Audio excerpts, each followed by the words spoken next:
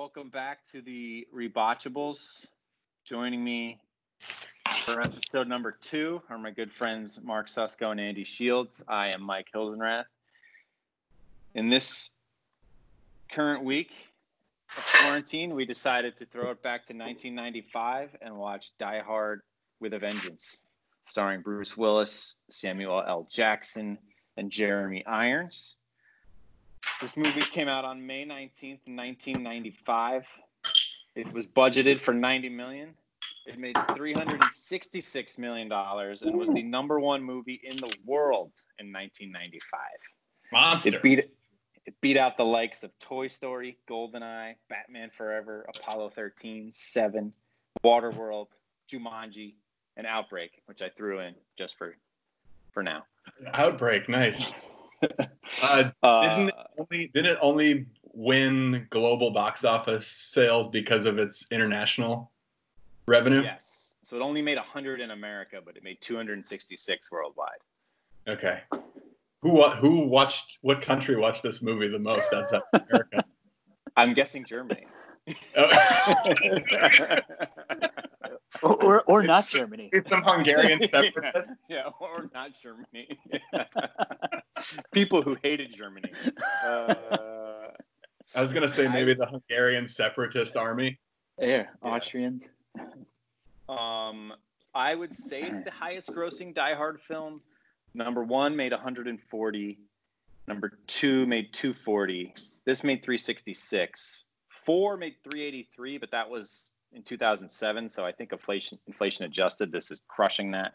And then the most recent one made only 300 million in 2013. So commercially, I think it's the most successful Die Hard of them all. I don't know what number one has done in residuals, but Yeah. I don't know. This one's on TV just as much. I feel like no Die Hard Two is never on, but this one is Do you- on. Do you guys think these are still on TV? I feel like I never encounter them anymore. I feel like I did maybe 10 or 15 years ago, but now I don't know. I, I feel like I never come Yeah. across them like TNT or TBS. All three of them just got picked up by HBO. That's how I watched. Yeah. Yeah. That's how I watched all. I actually watched all the movies again and watching and rewatching for this. But yeah, they're all on HBO now, so that's that's a big chunk there.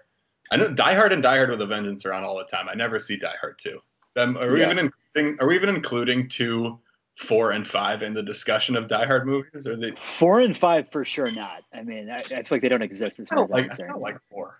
I like Yeah. four a lot. Four is good. Yeah. Five is really dumb. Uh, five, they're they're going for paychecks. And Five is like a five is more of like a superhero movie than it is a Die Hard movie. overall. What did you guys think of three on the rewatch? I watched it twice this week, and it's it's pretty great that it's just like nonstop action. I think it's 20 minutes too long, but I can get over that because it, like once it starts, it just really doesn't stop. Yeah, I, uh, I I thought it was just like fun to watch, like a classic action comedy, not too much CGI, uh, just like a great plot, a few twists. Um, you know, prime Bruce Willis, prime Samuel Jackson. Um, but yeah, I, I agree. I think it's like a little too long and goes a little overboard in like the last hour. Um, but I mean, I, I super, very very much enjoyed it. the first hour is definitely better than the second hour. Um, No question. I've got a lot of. I mean, there's a lot of reasons behind that that we can get into. Yeah, yeah, yeah. We'll get Watched into it. this movie for the first time way too early, like way too early. I think I was, I think it was right as it came out on VHS, which would have been like 95, 96. Um, And I watched it at my friend's house because my older brother and his friend were watching. And I didn't understand anything that was going on in this movie. Like I didn't, I, I hadn't also seen Die Hard. I hadn't seen the first one, so I had no idea who Hans Gruber was. It also ruined the ending of Die Hard for me before I even got to see it because you see the clip of Hans falling off the building. Uh, I didn't understand any of the racism or any of the jokes about being hungover. like I didn't know what that, what that meant. But like, I was gonna ask before we get started, can you guys imagine having a night out, like ripping beers and shots at Angry Wade's until three in the morning, and then waking up the next day and someone telling you you have to go on a bomb scavenger hunt at eight o'clock? No, no.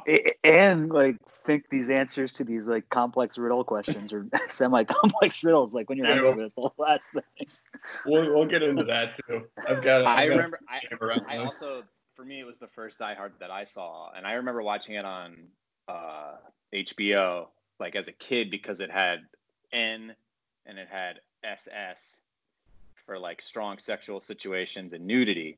But yeah. all there is is that weird sex scene at the end that's like two seconds long.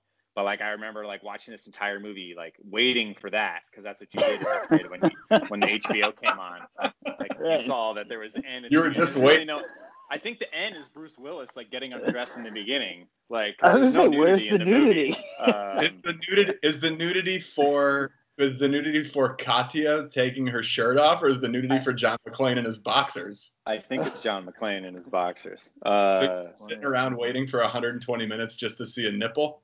Yes. um, so our friend Roger Ebert gave this film three out of four stars. It was a little, it was a weirdly written review because it didn't seem like he liked it, but then he still gave it three out of four stars. I think he just like decided to do away with being serious. He said, uh, it used to just be James Bond movies that provided us with this, but now there are movies that are essentially nothing but sensational stunt sequences, one after another, each one a feat of staging until we're reeling in our seats from input overload. Die Hard with a Vengeance is the kind of movie where towards the end you start looking for the kitchen sink. I- I'm surprised he gave it three out of four stars. Yeah, I wouldn't have guessed What did that. he give? What did he give the first one? I did not look that up. If it's less, Uh, if it's less than that, I'm gonna be mad. But He he's also right said about the kitchen sink. there could be a, a little film festival on one of the cable channels consisting of only scenes where experts try to defuse bombs, which I agree with. Oh, Uh, that's awesome. which I is would pretty watch prescient for uh, 1995 Roger Ebert. He, he Could I gave two also- stars. Two stars to Could the I- first first film. I would also Wow. like to add a channel right next to the bomb diffusing channel where movies and heroes only solve puzzles devised by the villains. yes, For yes. sure. I have that for Love what the takes the channel best like for sure. Uh, uh, Rotten Tomatoes, only 52% of critics like it, 83% audience. Uh, a little shocking there. I don't, I mean, what's not to like? Did critics not? I mean, there's a lot not to like. We Yeah. we're gonna go there. Uh, what is it? I, I can't imagine that critics like. I mean, action movies and horror movies are always things that the critics fail at recognizing are good. That's right? Good Yeah, I think 50 percent is a good. I don't understand it. I don't care about critic ratings from. A couple Rotten other Tomatoes. things that Ebert said before we get started, just to keep in the back of your mind. We'll we'll hash them out later. He says towards the end, I'm a little hazy on how the Chucks got to Canada, and he said Jeremy Irons uses a certain clipped precision of speech that makes everything he says sound resentful. So he, I guess, liked Jeremy Irons' speech in this movie, where others might have differing viewpoints on that. Yeah. But I, mean, I could see any critic liking Jeremy Irons. Just the accent, his delivery. I don't know. yeah. Yeah, I, I, yeah, absolutely. Um, we can talk a lot about. You mentioned like not sure how they got to Canada. Um, we can talk a lot about the locational and travel logistics of this movie. I have almost like an entire section on this. but we all have we do all have knowledge of New York, and I don't think any of it's that ridiculous. It is ridiculous that it all happens in one day. the, the Yeah. timing of a lot of things, I think, is up for debate. Let's not get into this yet. I have a whole section. okay. All right. All right. Let's York. get started. Uh, most rewatchable scene. I did. Uh, I have five, as I did last time. You guys can add on at the end. I tried to be a lot more specific with my scene choosing this time. um, the first scene is the Harlem scene, uh, which starts when Bruce Willis shows up in the sign. Uh, actually, no, it starts. Yeah, you see a quick shot of Bruce Willis with the sign, and the old lady gives him that like disapproving nod, and then you get the speech from Samuel L. Jackson talking to the two little kids, like, "Who do we not want to help us? White people. Who's gonna do it with us? No one." Um, great speech, To get- and then you get To get respect. Aspect, yes. I, I think the way they shot that scene is fantastic too, because they they film him like getting out of the truck. They don't show what's on the sign; they show people's Yes. reactions to him walking down the street. So you don't even know what's going on, but you know something bad's like about to happen. It's like a great suspenseful the way it's shot. I thought they did a good job with it. yes. And you don't see it until Samuel Jackson comes outside and it kind of does that like 90s movie like pull out, like Yeah. to reveal him standing there. I did read wanna that know- uh, for, for sorry for the for the TV version they put "I hate everyone" on the side. Right.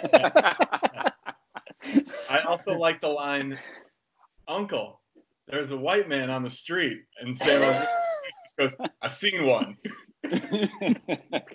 Not like I this. Wanna, I like this. I want to know what poor cop would have had the task of making that sign.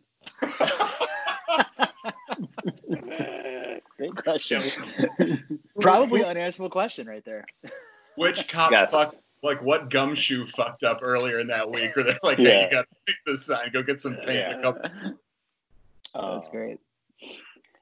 And just like the initial Samuel L, he just like comes out so hard. Like this is the first time you're meeting him. He's like probably the first movie that I've ever seen him in, and he's just like going crazy with Bruce Willis right there. He's like, you know, not all his dogs are barking. Looney Tunes, like from Bellevue. Uh, Bellevue. it's just phenomenal. Um, It's and also really hearing- smart too, because they then they explain like you think why if this guy just said, "Who do we not want to help us? White people." What the hell is he doing, pointing a gun at all the guys that stand that stand across the street from him every day to help this white Yeah. cop that he's never met that's wearing a sign that hates that basically a hate crime sign on his Mhm. chest, and you find out that it's just to protect his neighborhood. Like he you can you tell you know already that Zeus is going to be the smart one of the two, thinking three to four steps ahead. If one white cop gets shot in Harlem next week, we got a hundred white cops. Yes. It's prescient uh, in terms of like what happened like a couple years ago in the city with you know police Yeah. murdering like a black guy or Black Lives Matter, like all that. Uh, Yeah. interesting. The the gang is a little over the top, but I can I can deal with that. I mean, that guy's got a the guy who underhand tosses the knife Yeah. right at the sign. That is awesome. I feel like they're way too cool at first, like where they would just like this would just be a bum rush situation, no questions asked, where they come up and they like taunt him for a little bit, like Throw the basketball at his head. yeah. and that scene ends with the cab, and then he's calling him Jesus, and he's like, "My name's not Jesus, motherfucker." Yeah. Which great. I we can talk One of the best later, quotes best in the movie. quotes, but yes, Yeah. uh, just a great way to get off and going. Um, I also like in that scene with the cab driver, after he realizes he's not getting robbed, but he's still got a gun pointed at him. McClane's like, just run all the lights, run all the lights. And out of reflex, the cab driver goes, whatever you say, boss. Just Yeah, like normal New York cabbie. Yeah, they'll do whatever you want. two of his two of his passenger side windows have just been smashed to smithereens, and he's still like, "All right, you guys want to go." Scene number two, I have, speaking of cabs, the other cab scene in the movie, which is through the park on court. uh, We can call this the uh, subway bomb scene, I guess. The through the park with the cab. Seven- they, they split up through the bomb exploding. We can have that as the whole scene, I think. Um, I timed it out today during quarantine. 72nd and Broadway to Central Park South would have only taken you six minutes, whereas he did it in three. So I'm guessing. What, what do you mean it would only take you six minutes? Just Because there's you're. no cars on the road right now. oh, oh, okay. I Google mapped it. It just said six minutes. So like, Okay. obviously during rush hour, I'm sure this is taking like an hour. But it's funny that right now that that drive only takes you six minutes, and you don't have to almost kill like 500 people in the park. Right. So that Yeah, scene, I, I was calling that one 72nd and Broadway to Wall Street Station in 30 minutes. Um, it's it's it's got so many cool like movie tropes where you think something is going to happen one way. Zeus is the ex. Zeus is apparently the expert he used to drive the cab. He's telling McClane how to get somewhere. McClane's going completely off the rails ballistic Yes. Instead of going through the park drive, going right through the park. I don't know when the last time I saw a mime was in Central Park. It's like, are you aiming for these people? He goes, no, maybe that mime. 90s though, I feel like that was a common thing. Mimes. Out and then the there's park. also this is where I learned about following. This is this is the movie where I learned about if you see any emergency vehicle with its lights on and you're on a crowded street, you get immediately behind them and follow them. Like they talk about following what we need is an ambulance. Like follow the Yeah. blocker to the end zone. yeah. The uh, the drive through the park is the, the flashy thing, but I think that the following the ambulance is like the, the most baller move of the whole scene. It's so great the way he calls it in.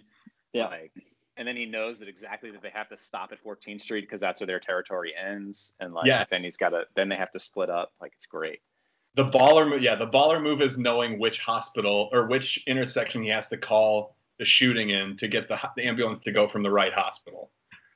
And this is wait, we didn't talk about this is the first Die Hard movie in New York where McClane is actually a cop. yes. it was This is the first time we LA see him in New York City. LA Yeah. DC now it's He's, now he's at- actually working in his jurisdiction. This is the first time. yeah. Which you Yes. could also argue he's dumber in his own jurisdiction than he is in the other two, where he doesn't he's not familiar. And who knows? Has he even been working since the other events of the other two movies or no? It seems like he's just been on a bender on suspension. Unclear. Yeah, it's true. Um, Cigarettes, 90, blo- 90 blocks in 30 minutes, pretty impressive. Uh, the amount of destruction that they cause is ridiculous. They almost kill like 200 people, like alone. Like when he jumps the cab at the end onto Central Park South, like he could have really, really hurt some Yeah. people there. Did Um, anyone notice that he knocks he knocks a wheel off of a car? yes, yes. I didn't pick up on that. An entire wheel comes flying off of another vehicle that he hits on his way over. Uh, you get the some quotes in there. Uh, I didn't say Park Drive. I said through the park. At one point, Samuel Jackson goes, "How do the Catholics do that thing?" And he's just like north, Okay. south, east, west. and he does that. uh, then when they split up, uh, which obviously, if McClane would just would have stayed in the car, everything would have been fine. He probably still would have set the bomb off anyway, but he wasn't expecting Zeus to get there in time. I don't think. It's a Right. picking nit for me. Yeah, it, it's a picking nit. Them splitting Then up. them splitting up. Yeah. Yeah. Well, he's trying to go after the bomb. I get. I get it. I get it. I get it. Yeah. My favorite part from when he splits up is when he initially gets on the subway. He's like storming through, and this one lady like has this crazy reaction when he tries to go by her. She's like, Oh, Uh, she's Are we- can we do can we do the the the, the they knew award right now? no, you can't give it to somebody like that. But she, what is Move she your legs, move doing? it comes out of nowhere. Like I still I didn't understand why she was so upset when I watched it when I was 10 and I still don't know why she's that upset today yeah. in New York with people He's who are clearly very, a police officer too. It's not like he's some crazy guy. yeah. and then Zeus getting the uh, the gun pulled on him. Obviously, he knew that was going to happen in New York City in 1995. Uh, So there's, there's a lot of cool. I was, gonna, I was gonna save this, but this scene has a lot of cool. There's a lot of things that Mc- McTiernan didn't get right about New York, but there are a lot of things that he does get right, and this scene has a bunch of them. So one of my favorite lines in the entire in that whole sequence is, and I think it's aged really well too. Is even in the midst of trying to stop a bomb from going off in the middle of Manhattan, someone still gets really pumped about making record time traveling from one place to another in New York. yeah, yeah, yeah. To Yeah, brag about good. it. Yeah. Yeah. 72nd Street to Central Park South in three minutes, and he's like laughing to himself. Yeah. It's, a very, it's like a Costanza moment. We're making That's great time. And then I- I- the cop. oh, go ahead, Mike. No, no, no. I was. You go for it. the I, I, I'm not sure why the cop, and this could just be a reflection of 1990s police racism in Manhattan too. But Zeus just jumps. He just like avoids the fare, right? That's all he does. He jumps over the Yeah. jumps over Happens the every day. jumps the fence. That happens all the time. No way is anyone pulling a gun on this guy. No, Just no, it's crazy. going Yeah. down to the, the subway station trying to answer a phone. Yeah, he, he's overdoing it, and uh, I mean, I guess he Zeus does force that other guy off the phone, though. I mean, maybe that's why the cop kind of freaked out. I don't know, but yeah, way overdone his reaction. Yeah, I agree. Jenna pointed this out when we were watching it today that this most of the subway logic is spot on. Like they take the right trains, which I always appreciate. Ah, that's interesting. The- I the pick right up on that. stations. Yeah. Different subways back then. I got I got some I got some some issues with that one, but we can talk about that in picking nits. yes. But they're the right stations, the right trains at least. Uh, Nice. That one. In this scene, it's the That right one. one. It's Yes. the, it's 72nd and Broadway to Wall Street. But that's the most important one. So what are they taking? The what's up. four, five, six, or the Two- the No, the Two, two, three. three.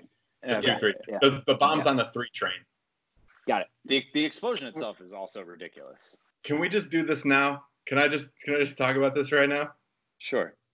If we're talking about this scene, the best way to get from 72nd and Broadway to Wall Street Station in 30 minutes is to just get on the fucking train that the bomb is on. Right then and there. There's a subway stop at that intersection. It's arriving. They just need to get off the phone and get down. It would take 20 minutes to get to Wall Street Station.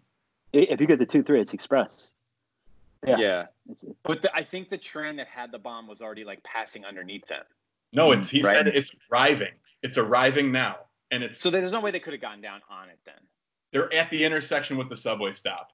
Either way, been it's really express close. train. Another one's coming five minutes after. It takes 20 minutes to get from that station to Wall Street Station. They could have But they gotten would there. have with- been late. They would have been late because the train explodes as it arrives at the station. That's right? true. They would have. Right, right, right, right, right. they If they they, could were on the to train like behind, they would have just been stuck at the at the previous stop, waiting for the bomb to explode as the bomb exploded. That's true. I thought I was probably watching this scene like, there's no way that they needed to drive through Central Park. almost But hit all these people. they, they could have drove to Penn Station and tried to get the train there. You know, No, it's know. essentially what he does, right? There's a lot of Just different jump ways you onto could have the handled it. actual Yeah. yeah. I think there should be another section of what would, as as people that take the subway all the time in New York, how would we have gotten to Wall Street Station? or any of the things that they do. Yes. Um, all right, that's scene number two. Uh, the third scene I have written down for me is the water fountain bomb scene. Uh, just the two of them figuring out the riddle with the the water jugs and the. Uh, you were gonna call me a no, I was gonna call you an asshole. Uh, He's clearly going to call him a motherfucker. yeah. The dialogue. And Zeus just makes up that he's going to call him the N word. yeah. And then he's like, I think you hate me. He's like, No, I hate you because you're gonna get me killed. Uh, um, It a what do you fun got- math problem. I think it was a Yeah. How do you guys problem. feel about that math problem? Like, I Can we, oh, I, I get it, but I don't real, but I kind of don't get it. I like it. Do you want to solve it now? Really? You, you don't get it? Like, I, I don't get that he figured it out in that one exact moment, and they were able to do the pouring. well, they they, they kind of cut away. They don't actually show the actual solvent. I feel like they like they assume that they already filled up one of the things, and so you So fill they up the five, Yeah. Yes. five into the three. Then you're left with two. You're left with two, Yeah. and you pour out the three. Yeah. So you just you still just have two in the five, Yeah. and Then you pour Uh, the remaining, remaining. you put the two in the three. You put the two in the three. Two in the three, and then you have one gallon of empty. sp- That's and that's where they that's where they cut back in Yeah, because you've got yeah, one gallon of empty space inside of the three gallon jug. Fill the five gallon up. right. Pour out the one gallon. You're left with four into gallons. the yeah, exactly. Yeah. Okay. That was going to be one It's of my kinda unanswered complicated, though. questions. Was how how far in the riddle in the riddle game would you guys have gotten before you got blown up? I don't know if I would have gotten the St. Ives one. I would have probably spent way too much time multiplying sevens together, and then just that would have been it. Same. Yeah, no chance. I think I would've would have passed made it. Through, I would have made it through that one. I played a lot of Mind Trap growing up, which was just all just a box of Trivial Pursuit cards that was all just filled with trick questions. So I would have gotten that one. Probably would have figured out the water jug. I would have. I would have gotten way too deep into 21 out of 42. I would have gone Oh, some yeah. weird, Yeah. obscure route and Yes. it up there. Yes. Well, it only is. It only makes it easier because the 42nd president was in office at the time. True. Right. Right. Yeah, It's true. true. But if they Uh, were like, Right. what's today? If they were like, what's 23 out of 45? Yeah, no, you're right. I wouldn't. I wouldn't have any answer to that. No, And that's true. instantly, when I hear the number 42, I think of Jackie Robinson. So my mind's already on baseball, and I'm in the wrong. Yeah. You know. Yankee Stadium. Yeah. Yeah. Yeah. Um, Great so I riddles. like that. I like that scene a lot. Um, the next scene is a little tougher. I just call it the boat scene, which is a long sequence because there's a lot that happens on the boat, and then they're cutting back to the school. But I can we can just call it all the boat, like from them jumping on to then Samuel having his confrontation with Jeremy Irons and Bruce Willis meets Jeremy Irons. You get both meetings individually back to back, which are pretty great. And then at the same time, you have the the lovely bomb squad guy trying to do his thing back at the school with the kids locked. in. Charlie. So it's a, yeah, yeah. I love Charlie. I love Uh, Charlie. Yeah. Uh, I had him nominated for some awards. So, Yeah, same. uh, but that whole sequence is great. I mean, Are you starting? on- So where where are you, are you starting from when they are you starting start from, from, the, them jumping on from the the shootout scene on the highway, or starting from when they see No. the boat coming and they have to they have Yes. to tie the truck to or get Yeah. the the cord on the truck? Anything boat related, I think, is fair. So them immediately getting on, like Samuel L.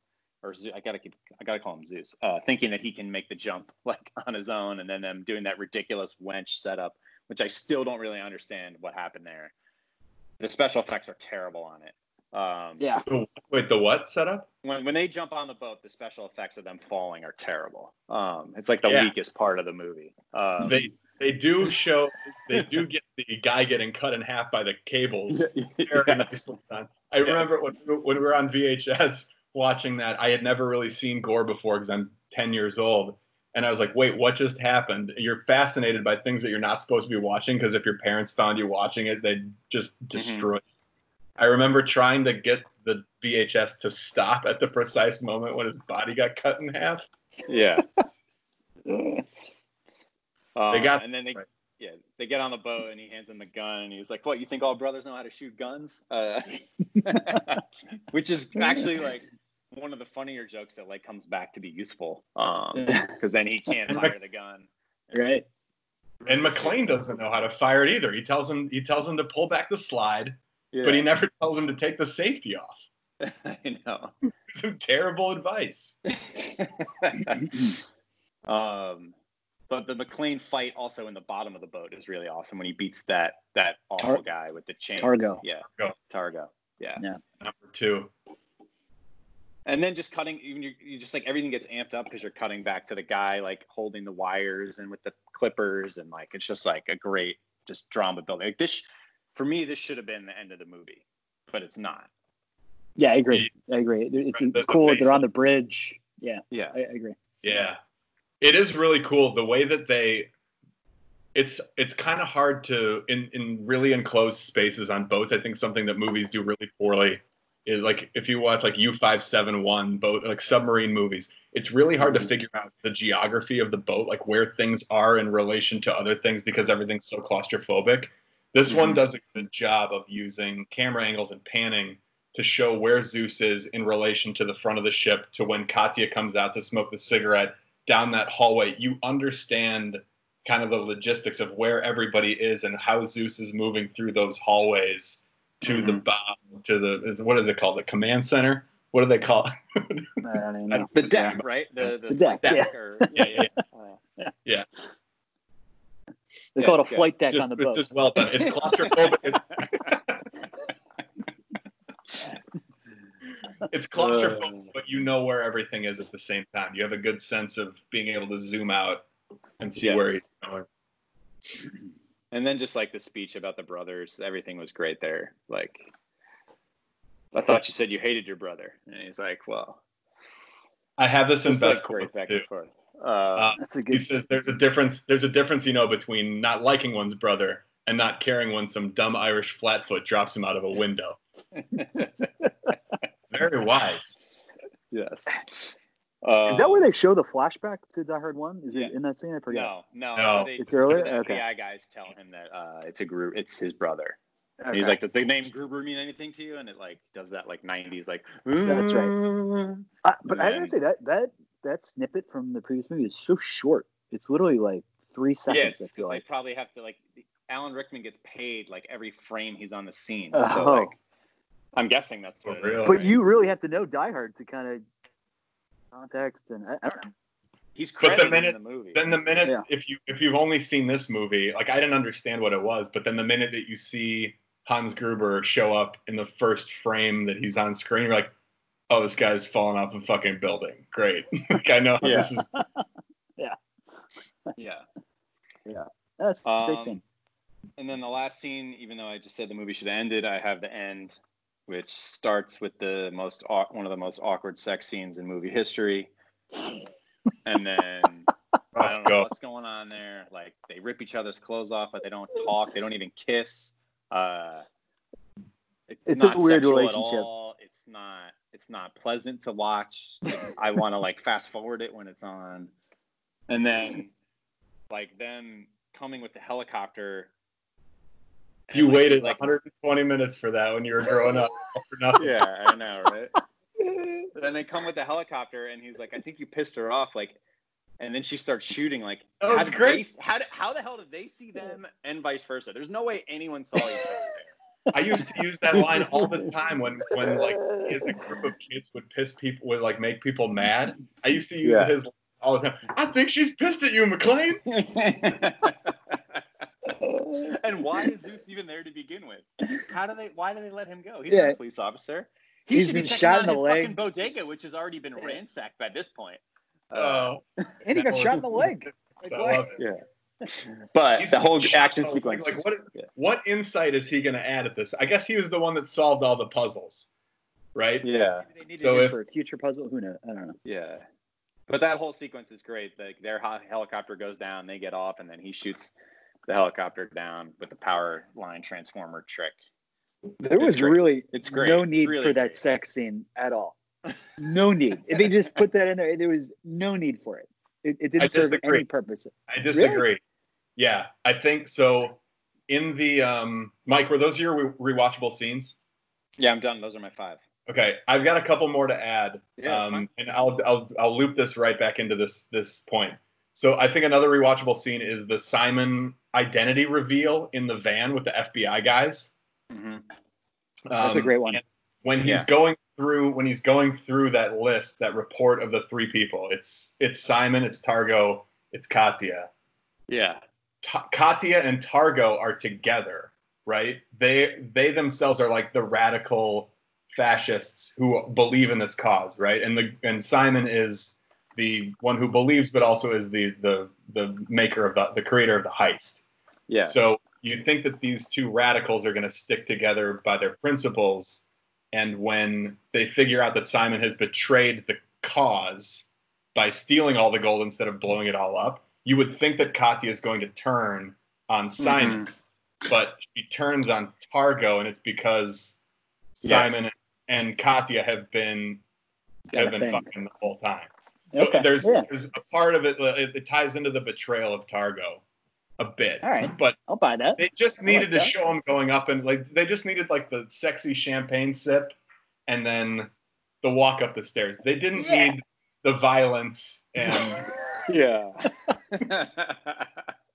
So Kidding, they did uncomfortable. not. bust their mouth all over the place. the scene that you were talking about is great where he's he's like calling out the FBI guys too, and he's like that one Ah. guy. He's like, I bet you're chewing on your glasses too. Like, Bill uh, yeah. Yeah. Cross, so I assume That's that's, a also great scene. Bill. Still trying to butch up by chewing on your glasses. Yeah. That's a great scene. And I, uh, the other I- I- rewatchable scene I had, um, well, let's talk about the van scene. So it's you got if it's a Die Hard movie, it's going to be a good Die Hard movie. You got to have um, incompetent FBI guys. I just think it's, yeah, yeah, yeah. and like these guys are just like throwing Hungarian expats and a former East German army colonel. Like they're throwing pictures in front of Yeah. McClane. Makes sense because it's Gruber's brother.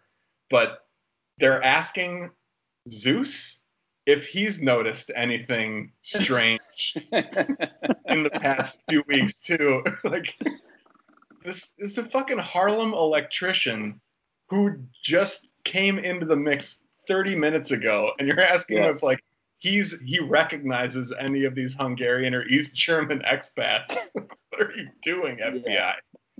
Well, the other guy's supposed to be from the CIA, right? I'm guessing because they The say guy- like, yeah, the guy with the shoes on his glasses. They say he's from like somewhere. They don't like to give away where he works.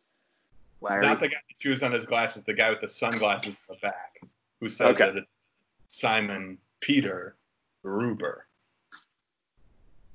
But that's it's a good scene because it it shows a couple of things. It shows um, that Simon's got an eye on everybody. He's done his homework. He's Yeah. extremely menacing. He knows exactly what he's doing. He knows who's going to be involved once this plan starts to take place and it actually reveals some of Simon's motives. So, like one of the the coolest things about this movie is that you never see, you don't know. Like in other action movies, there's like the MacGuffin of you know the nuclear bomb gets stolen or the chemical weapon gets stolen right at the beginning of the movie, and then it's a chase to figure out what that is. Mhm. The MacGuffin in this movie is why is Simon doing this? What's what's pushing this plot forward? Is like we're figuring out why this is happening. And all we know is that this guy's after McClane and he's got this series of really, we'll say, well thought out puzzles for this guy to go through. And we don't figure out why he's targeting McClane until this moment. And I think he shows how how good of a villain he is, how well thought out this plot is, and also we figure out what his actual motives are. Totally. Yeah, I think it- it's, it's a great scene. You're right. I agree. And my other one is the Charlie's introduction of the binary liquid, where he blows up the chair. Yeah. I Okay, always like I had. I always like the in- I had that in mechanism of like how like yeah. how dangerous is the thing that we're dealing with. Yeah. Yes. Scenes are Great always scene. fun to learn about. I have uh, one more to add. I love the uh, when Bruce, uh, McClane goes to the Federal Reserve in New York and he sees the German cop posing as the guard there, and they go up in the elevator. Yeah, this is The was. I German left this one off. The German cop's like speaking these Americanisms like off. He's like, "It's raining Yes. dogs and cats," or cats. and dogs. and then they get in the elevator. It's so suspenseful. He's like, "Anybody play the lottery last night?" My wife says, "Like those are my numbers." it's great. It's great. I love that scene. Yeah, and then he goes, "I got, I got my numbers right here." Boom, boom, boom. Like, oh, yeah. Out That of was my everybody's mention. dead. Yeah. Yeah. I feel like it's going to rain like dogs and cats every day. You just tell something's a little off, about to go down. Oh, and that's great. that's the moment too where in the in the beginning of the movie like a guy just blew up a department store on Fifth Avenue.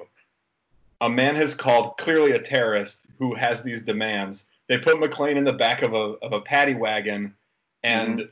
yet they're not talking about what he's got to do or where they're going to be. They're talking about like they, they dedicate two minutes to talking about the fucking lottery. I know. But then you you realize that the lottery numbers actually lead to him not dying and figuring out that exactly the batch number is is Walsh's, who's been killed by Otto. Yeah. I would still say my favorite rewatchable is the 72nd and Broadway to Wall Street for me. It's just, it's too good. I I think it's. Uh, I, I love the opening scene. I, I had forgotten that to be honest, rewatching this, and then yeah, we put that second. Like You mean the said. Harlem, the Harlem scene? Yes, the Harlem scene. Yeah. I'm going 72nd and Broadway to Wall Street Station in 30 minutes. Yeah. And I'm, I'm going to include the scene up to that where they're solving the riddle of St. Ives.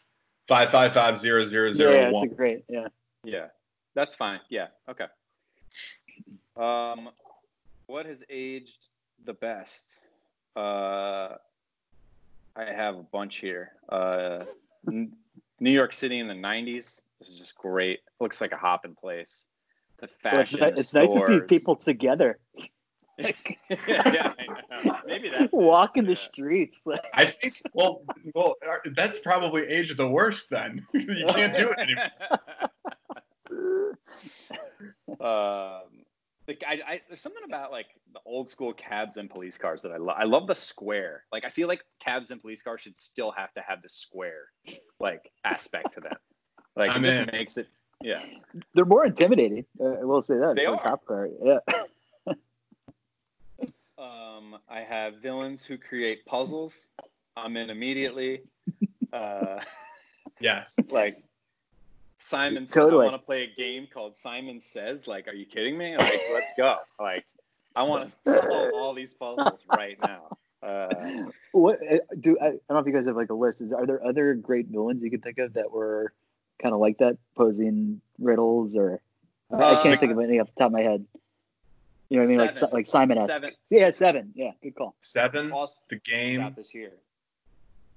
Um, yeah, it's kind of a I was I was gonna say that the the scavenger hunt style has really aged well. Like these are my favorite type of action. It's like I don't I, I I don't care about the the net, like the action scenes, like people getting out of the way, people almost dying, extras almost dying. Like I don't care about any Yeah. of that. Like, you can blow up as many buildings as you want if you don't have the psychological tension behind all of those scenes, then the movie does nothing for me. And this does a great job. Like you don't know, even like we were talking about with um, the FBI van, you don't know what Simon's motives are until an hour into the movie, and even then, that's a false that's a false plot. You're Right. still not there yet. And so, the idea of the scavenger hunt of having him move around the city, doing all these different tasks with upped stakes is is really good. I love it. I love movies like this. Yeah, I- I'm just thinking. I, I feel like Saw, the original Saw, is kind of like that, like that. All bit, the right? Isn't- All I guess I've only seen the first. Yeah. Okay. Yeah. I've seen them all, and I'm in for any time, of any type of puzzle solving, especially when you might lose like limbs or or have your head explode. Even like uh, I have uh, Bruce Willis and Samuel Jackson together, just like it's just like it's just awesome. Like they're so they have such great chemistry, like and you can just like It's feel it. Yeah. Uh, I, I mean, kind of related to that. I just had, you know, Bruce Willis and a wife beater. It's great to see that. And then Samuel Jackson with hair. Uh, it was just great to see him with hair. and the glasses. and the glasses, yeah. it's like old His glasses are excellent. Um, I had the opening credits age really well for me. Like we talk about the Harlem scene, but the way the movie starts, it's just like there's no fucking around. It's like Die Hard with a vengeance. Two beauty shots of New York skyline, right down to Hot Town Summer in the City, the song playing, and then a So- department store blows up, and you're just like you're in within like 45 seconds. Like It's awesome. so good. It's fantastic opening. It really is. Uh, Fun fact about that scene, the blowing up scene, the truck that gets flipped over outside of what is it, Bonwit Bonateller? Teller's department store. Bonwit. I've never heard of it. Bonwit Teller. Yeah. It went bankrupt in the '90s, um, but apparently it was like a big Fifth Avenue department store. Um, the truck outside of, and I just noticed this on like the last rewatch. The truck outside of the the department store that gets flipped over is Atlant. It says Atlantic Courier on the side, and Pacific Courier was the truck that Hans rode into Nakatomi Plaza in. wow. That's a little some detail. callback to. Yeah. It's a nice callback to Die Hard One. it's a nice Wait, so Easter egg. wh- where did that explosion actually take place? I know you said on Fifth Avenue, but like where? I think it's- Fifth- I think it's Fifth and Fifty Sixth Street. Okay. So where all those shops are. There? Yeah. Yeah, yeah. Got it. Um, I also because have. Simon needed to. I needed to get your attention. I think Bruce Willis's Hangover aged really well. I was hung I was hungover myself today when I watched it for the second time, and I really felt his pain. Uh, there's just so. It's not like it's like one line. They like keep going back to the Hangover, like that he's Yeah. hungover, like the whole fucking movie. Like there's so many quotes. You're fucking up a perfectly good hangover. Cut the shit. I've got a bad hangover. I've got a bad fucking hangover. Like it's just constant with the aspirin and then the aspirin playing a part in the movie. Like it was really like part of the movie. It wasn't just like the aspirin is how he gets to the end. And he wouldn't have ever asked for that if he didn't have the hangover the entire day. It's really, Yeah. it's really good. Like it, we, it's we've. It, it makes sense for why the guy that has saved. Well, he saved a building, saved a lot of money from being stolen, and saved a plane from crashing, and a Cuban general from getting released. It makes sense as to why this guy can't solve any fucking puzzles to save his life. Yes. Uh, And then the last thing I wrote was the music, just the uh, when Johnny comes marching home,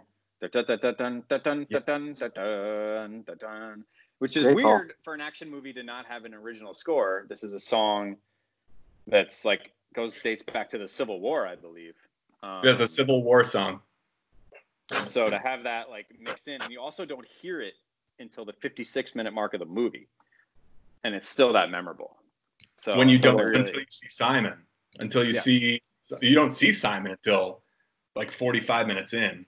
And the song like so it's the song is about soldiers coming home from war and these are like Hungarian and East German soldiers who have just like the Berlin Wall has just come down. They don't have a country and so they're coming back from their fight. And it's also like it's really menacing. Like I don't I, don't, I can't think of another song, another theme in a movie that gets me like scared and amped at the same time.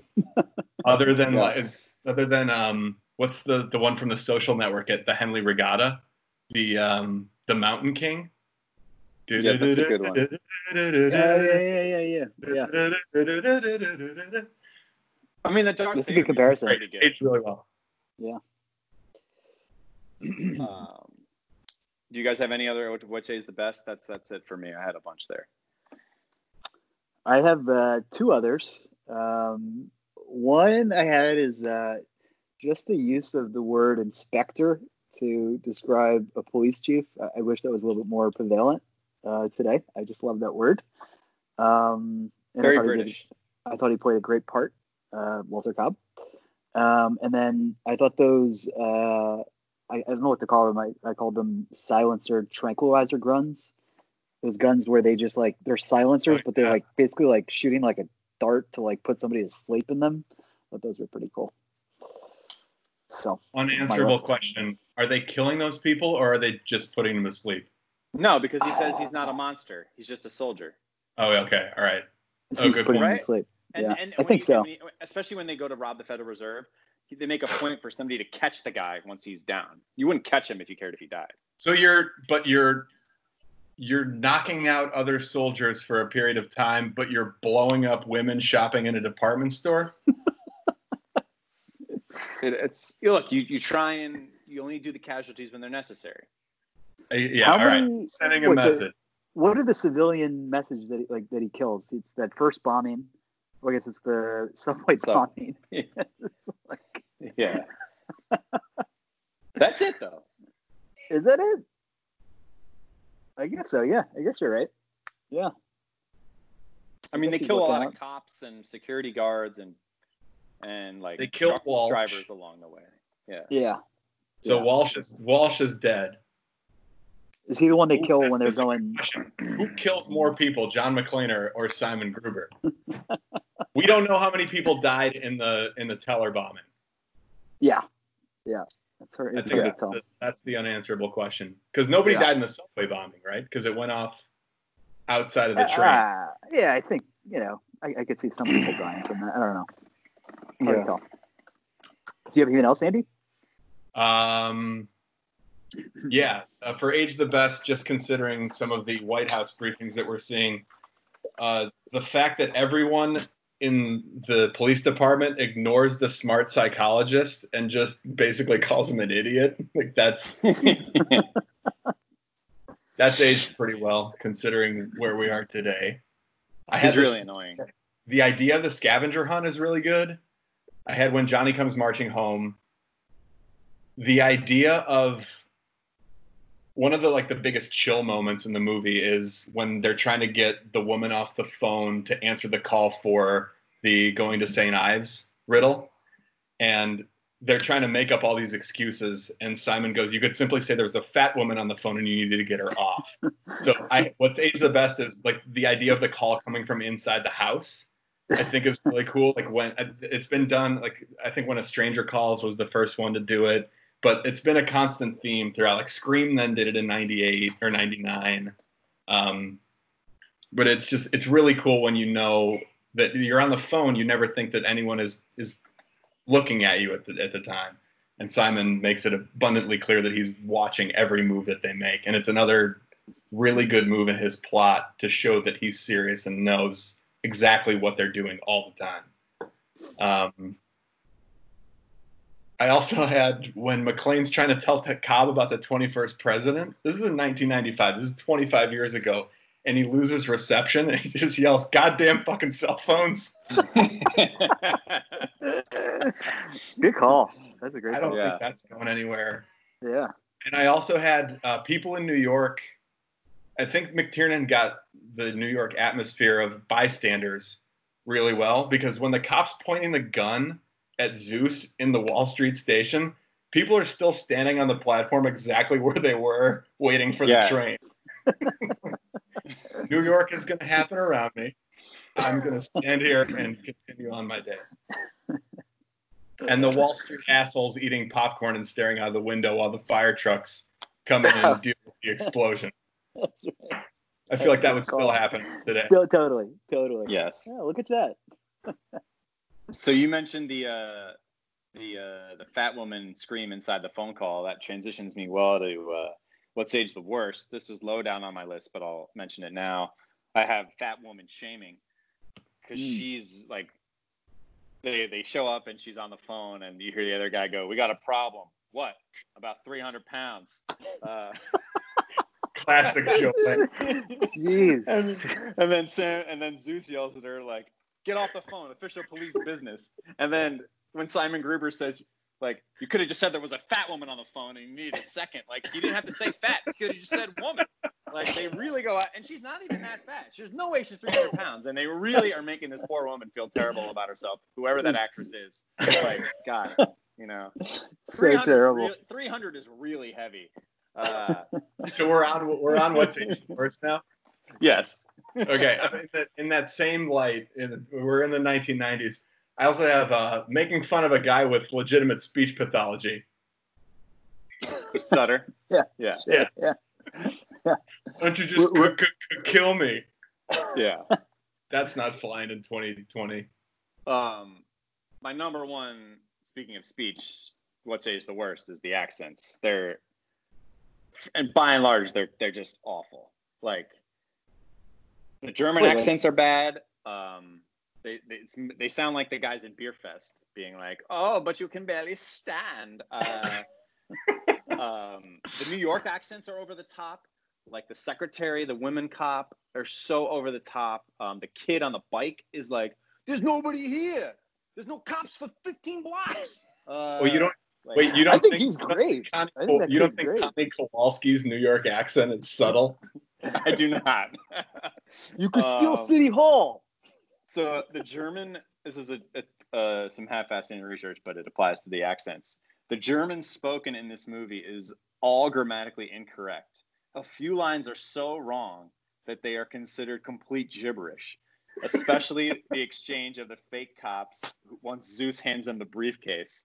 The thing that they say outside the cab to each other is just German sounds, not words whatsoever. Um, so when they actually dubbed this movie in German, they got it all right. But the way they differentiated was they made the villains have East German accents and everybody else had West German accents. This makes sense to me because McTiernan is so fucking lazy with some of the stuff that he does in this movie. It's unfucking believable. All you need to do. I'm gonna stop there because I got a lot of thoughts about how lazy McTiernan is for But- picking. You guys agree the accents are bad. The German accents are really bad. I was gonna. I Especially was Jeremy Irons. like He comes in and out of it all the time too. if you think about just all you have to do is think McTiernan directed the first one, right? All you have to do is think back to Rickman's Bill Clay. Remember Bill Clay on the mm-hmm. roof when he looked his accent is unbelievable. It's so I mean it- no, it's it's extremely believable. And a lot of people down here, mayor doesn't want to piss off, you know. Like it's so bad. a lot of money here. Wow, I- somebody had fun. Like I'm doing a bad British accent, and it sounds better as an American accent than Jeremy Irons' American accent. I, I mean, I don't think the, the accents were like accurate portrayal of how a German would speak English, but I, I actually enjoyed enjoyed the accents for whatever that's worth. Like, I like that Simon actually had a British accent, even though I guess he was really German. I, I don't know. At least you sound smarter when you have a British accent. You sound like a smart villain. I mean, it's classic '90s. It just like Totally puts the German on like a yeah. little thing. He like he'll throw in a z instead of a the in a sentence and like consider that German. Like, could you pass the oranges? Like, you know, like Somebody. Yeah, there was fun. also one of one of the guys, one of the guys that does a, a decent New York or, or a decent American accent. The cop that Zeus gives the bomb to, he's like, "Oh, we'll check up on that right away," and is pretty good. And then he calls Simon and says in English, he goes, "He's here," and Simon goes. But then the guy goes, McClane is here. You couldn't even get is right? Also, Yeah, Jeremy man. Irons, uh, when he's pretending to be Mr. Vanderflug, which is a phenomenal name, uh, he goes. This is like- when he walks in the Federal Reserve. Yeah, yeah. He starts out Southern, then he gets a little foreign, and then he goes like back into British for a second. Like he's all over the map. And then, like, thankfully, this he just ends with him with the guy getting the tranquilizer dart in the neck. But like, I don't know what he was trying to accomplish there. Vanderflug is Vanderflug is really bad. That's my that's one of my biggest nitpicks of the whole movie. Is that oh man. um, That that's all I had for what's age of worst. So whatever you guys have is is good. Go for it. Mark? Uh, yeah, I well, I have one. Um, when the uh, the switchboard lady is complaining to her boss, and she's like, "We're gonna field all the calls from 911, and I'm gonna marry Donald Trump." Oh, Like I that's have like that. some I'm- dream, like, Yeah, yeah, yeah. yeah. I saw like It she it. was. dreamed she could marry Donald That's Trump. That, that's really funny in retrospect. I had that as its own section. And then there's Um, also Also, Hillary Clinton gets mentioned. Yeah, I was gonna when they're that, on yeah. the FDR. Uh, as the 43rd president.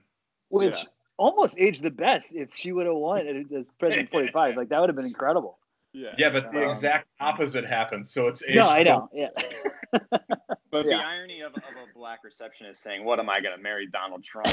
Like Right. as something that would be a dream for her to do is perfect is phenomenal.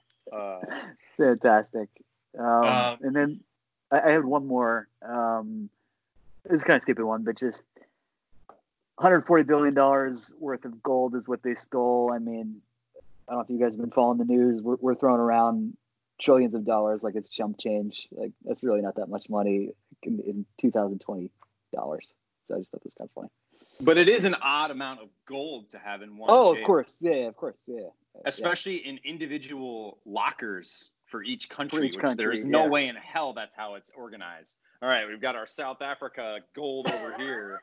Uh, It's true. So, a couple of points on that. I don't know if I don't know if that's necessarily not how it works. Um, so there's this is this is going into half-ass internet research. I'm going to step on this a little bit, but we're on it already. So in order to get that amount of money, what they said in gold out of the Federal Reserve, they had 14 dump trucks, right? Yep. They would have needed. I have the actual number here. Wow. They would have needed 480 dump trucks to get that much gold. Wow. Great stat. And so Jonathan Hensleigh, Jonathan Hensleigh wrote the screenplay, and this is to go to like how the, the Federal Reserve is set up. So Jonathan Hensleigh's knowledge of the Federal Reserve and its inner workings was accurate and robust enough to have him detained by the FBI for questioning after the movie was released. He had to give up his source on how he knew about how this worked, and it actually was just it was like a low key New York Times article that no one read. That's amazing. Wow. That's really, really impressive. Wow. That's a lot of trucks. 480. Jesus. 480 dump trucks. Did you have anything Uh, else for what stage of the worst? I had the second Simon call where they he meets Zeus. I feel like the, everyone's on separate landlines. I feel like like that would have been like failed Zoom meeting today. Hey, who just joined? Is everyone on? This is when they're at the police station? Yeah. that's- No, but Yeah. they pull Zeus over and they put him on a phone, right? That's Yeah. true. But nobody's on separate landlines today. Just the, the, That's- the yeah, idea yeah, of yeah, separate landlines for everybody talking Yeah. the same thing. Yes. That's true. Um, Yeah. the the line when they're talking about Bonwit Teller, this is like right at the beginning of the movie, where Joe Lambert goes, "Who would want to blow up a department store?" and Connie Kowalski says, "Ever see a woman miss a, miss a shoe sale?" that one's not flying at the local. So like that line is like a, Not there's a lot too. of lines in this movie that are classic '90s, where like the secretary's like, "Inspector, you got to hear this," and he's like, "No, you're really gonna want to see this," or like, "You ain't seen nothing like this before." Like those action movie things where it's like they have to make cheesy. Point. Yeah, Yeah. yeah. yeah. Um, No, trust me, you're really gonna want to hear this. Uh, shots of the twin towers age poorly, obviously, and yeah, yeah. I've gone I've, in the last one. I had a couple of wardrobe issues. Simon's tank top is awful. Mm, yeah. That like that tight, it's too tight. no sleeve crop top deal. He's got what terrorist is wearing that thing these days? Do you think he's doing it as an homage to McClane? Like, I'm gonna wear a gray tank top, you wear the white tank top. Hmm. Interesting. Def Pops. Unanswerable question. Yeah, Sure, I like that. sure. I'll buy that. All right, it's uh, it's time for a new category called the director's chair. We'll talk a little bit about John McTiernan's personal life and how he got here. Um, so this guy came out in his career like swinging. He had one movie that no one's ever heard of, but then his second and third and fourth movies that he directed as a major motion picture director were Predator, Die Hard One, and The Hunt for Red October, all within three years. Wow, in that's incredible. That's phenomenal. Like- Jesus, what a run! those are three epic epic 80s action movies Yeah, um then Uh, arguably the best, the best three action movie run, consecutive action movie run in history. pretty yeah. good as a director yeah and then he goes on he does last action hero which i actually have a very soft spot in my heart for uh, before doing this in 95 he doesn't do another movie after this until the thomas crown affair in 99 which is one of my favorite movies of all time and then his career goes off the rails but let's just talk about that like predator die hard die hard with a vengeance hunt for red october thomas crown affair like wow and he has not made Phenomenal. a movie he has not made a movie since 2002 for reasons i'll get into but like what a run Wait, I, I didn't know that. Jeez. Uh, wait, is Last Action Hero? That's Arnold Schwarzenegger and that kid. that's where he goes in the movie he comes out of the movie and uh yeah, yeah, yeah. Okay, yeah. That is a villain classic. is the guy from that in Ga- a long time. Charles Dance from Game of Thrones with the glass eye, he takes Jack the Ripper out, and they're like, it's it's a very rewatchable movie for me. I saw What's it as a kid in the- the theater. It's What's the woman terrible. that's in it? What's the woman that's in it though? Jamie Lee Curtis? Is that? Or am I mi- True no, Lies. of True Lies. True Lies. Yeah, that's. I'm sorry. Yeah. Okay. Yeah. Last Action Hero is not a good movie. Yeah, it's just No, I've seen it though. I just can't It's think of it. Yeah. awesomely bad. It's Yeah. awesome. Yeah. It won like a bunch of Razzie awards, right? Like, Yeah, yeah, yeah. McTiernan got nominated or won best, like, like worst director of the year Yeah. for Last Action Hero in like nine categories. The kid's the kid from My Girl Two. Like, uh, it's Who, it's Macaulay whatever. it- no, My Girl Two. Oh, okay. Uh, sorry. So, so McTiernan is rolling along. He's throwing out hits. Makes the Thomas Crown Affair in 1999, massive success. Then in 2002, he sets out to make this movie called Rollerball, which uh, I don't know if you remember. I think I saw that. Yeah, I think I saw it. starred uh, LL Cool J, Chris Klein, Jean Reno, Rebecca Romijn. Um, I guess it was about. I never actually saw it. Um, but this is where he ends up getting in a whole bunch of trouble. So he was charged with hiring a PI to wiretap Charles Roven, who was the producer of Rollerball. Apparently, McTiernan had disagreed over what the film should be. He was trying to catch Roven making negative statements about other executives at the studio. Um, he initially pled guilty as part of a plea deal. However, the prosecutors then became convinced he was lying and that he hired the same PI to wiretap other people, which it turned out at the same time he was wiretapping this, he was wiretapping his third wife at the time as he was going through divorce. Um, the judge characterized McTiernan as someone who thought he was above the law and lived a privileged life and simply wanted to continue that. Uh, this trial dragged on for years. Appeals, in and out of courts, plea deals, off the table, back on the table, appeal, appeal, appeal. It didn't actually get settled. Um, 2008, he was finally ordered to surrender for incarceration, uh, but he was still out on bail. Another appeal, 2010. Um, he gets sentenced to one year in prison and three years probation. The judge admonished him for never accepting responsibility for his actions after all these years. And he said he would have issued a worse sentence if the prosecution would have offered it. He didn't actually end up going to jail until 2013. So, wow. Rollerball, Rollerball came out in 2002. This guy That's finally crazy. gets all this settled in 2013, goes to jail, serves 12 months at a federal prison in Yankton, South Dakota, which is ranked by Forbes as one of the 10 cushiest prisons in America.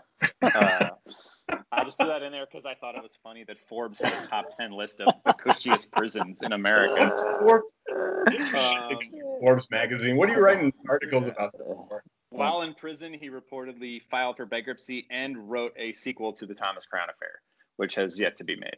So, Oh, interesting.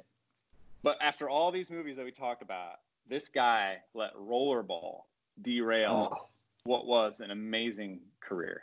no, that's crazy. Rollerball, terrible movie, but all those other movies that he directed are phenomenal. That's that's hard to believe. It's a That's great wild. run. It's a it's gonna be this is gonna happen in the who won the movie discussion, right? Because this is this revive well it didn't revive it, but like he had a he had a bad run in between his three like his his Die Hard Predator and what was the third one again? Well, Hunt for Red October. Hunt for Red October, yeah. Um, So you you think he's still collecting checks from all these movies and some? He must absolutely. be right. Yeah. Okay. Yeah, for so he's sure. just living With in the it. good- Yeah. Sure. Let Yeah. me let me pull Yeah. up what he did. Let me just pull Also what he did, directed uh, Basic. Also directed Basic, which is terrible, but lots of plot. Like People. Yeah. sets the record for the most bad plot twists in a single movie. Right. Yeah. Oh yeah, so he did make Basic after Rollerball, but Rollerball was the straw that that got everything going. Um, What so do you guys after Hunt think for Red he did- October, he made uh sorry. After Hunt for Red October though, in which is 1990, he made Medicine Man with Sean Connery and Lorraine Bracco. Um, then he made Last Action Hero, and then the next one was Die Hard with a Vengeance. There's only two movies. Okay, but it was five. It was five years. I guess that's not that long in the grand scheme of things. And then he didn't make another movie from 95 Die Hard with a Vengeance to 99 Thomas Crown Affair. What's he You doing gotta- for four years? You gotta. Th- well, he's. I don't know. Earn living off the royalties from Die Hard. And You gotta does this? think that being in prison and being a screenwriter is it that? I mean, obviously you're in prison. You could be worse jobs that you could have. You got a lot of agree. time. Yeah. Yeah. It's kind of ideal. It, it's like What's forced what's to a be better creative. what's a better job than being a screenwriter to have while in prison? Yeah. Well, he's actually only written one screenplay Chess that's Master? gotten made, and that was his first movie. He's only been a director. That's true. So- he also made a movie after the Thomas Crown Affair called The Thirteenth Warrior with Antonio Banderas, which was a huge flop. no what I remember. Written by Okay. Michael Crichton. Uh, so that's the director's chair. Um, I don't, if you want to take this opportunity to talk about his directing style, I'm all for it. Now that we just debunked or de uh, or just deep dived his entire life. I mean, I, I feel like we touched on a little bit. I feel like I love the way he shot a lot of these scenes. Um, like one that opening scene, just like we we talked about, not showing the what's on the what's on Bruce Willis's body, that sign when he goes to Harlem. I don't know. Not too much mean- CGI. you probably could have used more CGI in this movie, but I, I like that they didn't use too much. I don't know. I think McTiernan is really he's really skilled at at staging. Um, like we talked about this with um, the scene on the boat. He's really good at staging claustrophobic atmospheres while Mhm. not losing sight of the geography. Like you're talking about a submarine movie in Red in Hunt for Red October. You still you feel claustrophobic throughout that entire film, but don't feel it's not like a U five seven one situation where you don't understand where anything is. Um, Die Hard is the same thing. You he he calls back a lot of the same geography in Die Hard with him running past that one that one poster of the of the naked woman um, through the vents. This movie has a lot of really good stuff on the boat. It has a lot of really good stuff um, inside of the tunnels where you under like we can talk about the tunnel scene too, the dam scene where they blow it up. Um, I, have, this- I have some issues. I have some issues with that scene, but that's fine. yeah, Yeah. yeah, yeah, yeah. But the, Yeah. just the way that it's shot, like it, plotting and plotting is different than than the way it's shot. It's it's, it's Yeah. cool because understand you get the you, you get the the setup of that one truck going over that bridge, knocking knocking the knocking the plank off. Now they're stopped. Now they're stuck, and he does some good things there. I really like the way that um, that McTiernan uses the space of where those of where the actors are to depict this this sense of well we can talk about new york in a second but he does it one of his weaknesses is is research is especially new york. There's nothing that he does that really shows that he understands this town whatsoever except for maybe driving through central park. And i'm going to leave it at that because we can get to picking nits in a bit. Yeah. I just think he does a really good job creating tension in all his movies. Like yeah, the the scenes with with Arnold and the Predator waiting each other out are great. The scenes like with McClane like stalking in Die Hard One and Die Hard Three, like just the the slow burn of some of the action scenes are great, and then the payoff is like really intense and no CGI back then, so it's pretty like like A lot of suspense, like, yeah. really impressive. Yeah. yeah. Um, some casting what ifs. Uh, the role was written and offered Zeus Car- Carver to Laurence Fishburne. Um, his agents turned it down for him at the time. Um, he also turned down the role of Jules Winnfield in Pulp Fiction, and his agents cited the fact that they didn't want him to be stuck in a supporting actor role for his entire career. Um, he tried to go back after he saw Pulp Fiction. He tried to go back on his offer and get this role back. But by that point, the producers of Die Hard with a Vengeance has already seen Pulp Fiction and offered the role to Samuel L. Jackson. Um, Wow. They were so impressed by him then. And since then, Fishburne and I, I guess it was probably settled out of court, but Fish, Fishburne filed a lawsuit against the production company for going back on their verbal offer. huh I mean, it's I a feel like different Fi- movie. Fishburne would. I mean, I think he could have played this part. He wouldn't have been as funny. I feel like. Um, I He's he pretty did- funny though. Is he like what? What is he in? like I- I, I I, watch I, we watched it I watched the show Blackish um Oh, and he okay. plays like the older Yeah, yeah. grandfather who's like off his rocker and like he's been in some of those other comedy movies I think too he's he can be really funny but he's not he's not I mean, he's a phenomenal Jackson. actor. yeah Actor though. I mean, yeah, yeah. I don't think. Fishburne has the I don't think Fishburne has the the confused comedic chops to pull this off. Yeah, Like a lot of a lot of what Jackson does is he just doesn't know what's going on and he's overwhelmed by everything and screaming as a defense mechanism and it makes it so fun like McClane it's so good.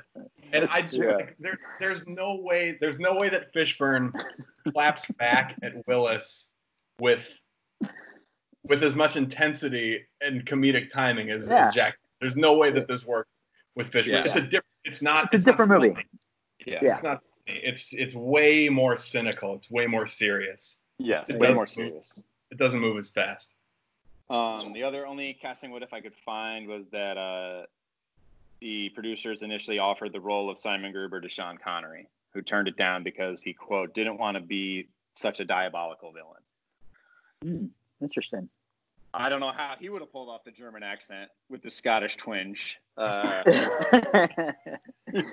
I think Sean he pulled Connery- off the American accent the same way that Jeremy Irons does.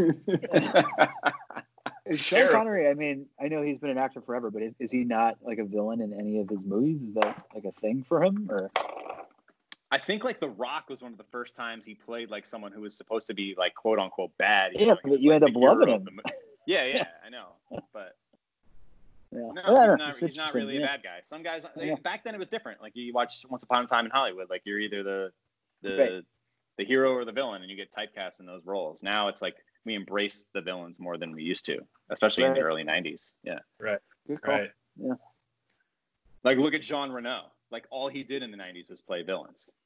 Yeah, Um, that's a good point. Yeah, so different era. That's that's all I had. Um, half-assed interest research. The original title of the movie was Simon Says. It was apparently written as both a Die Hard three or Lethal Weapon three.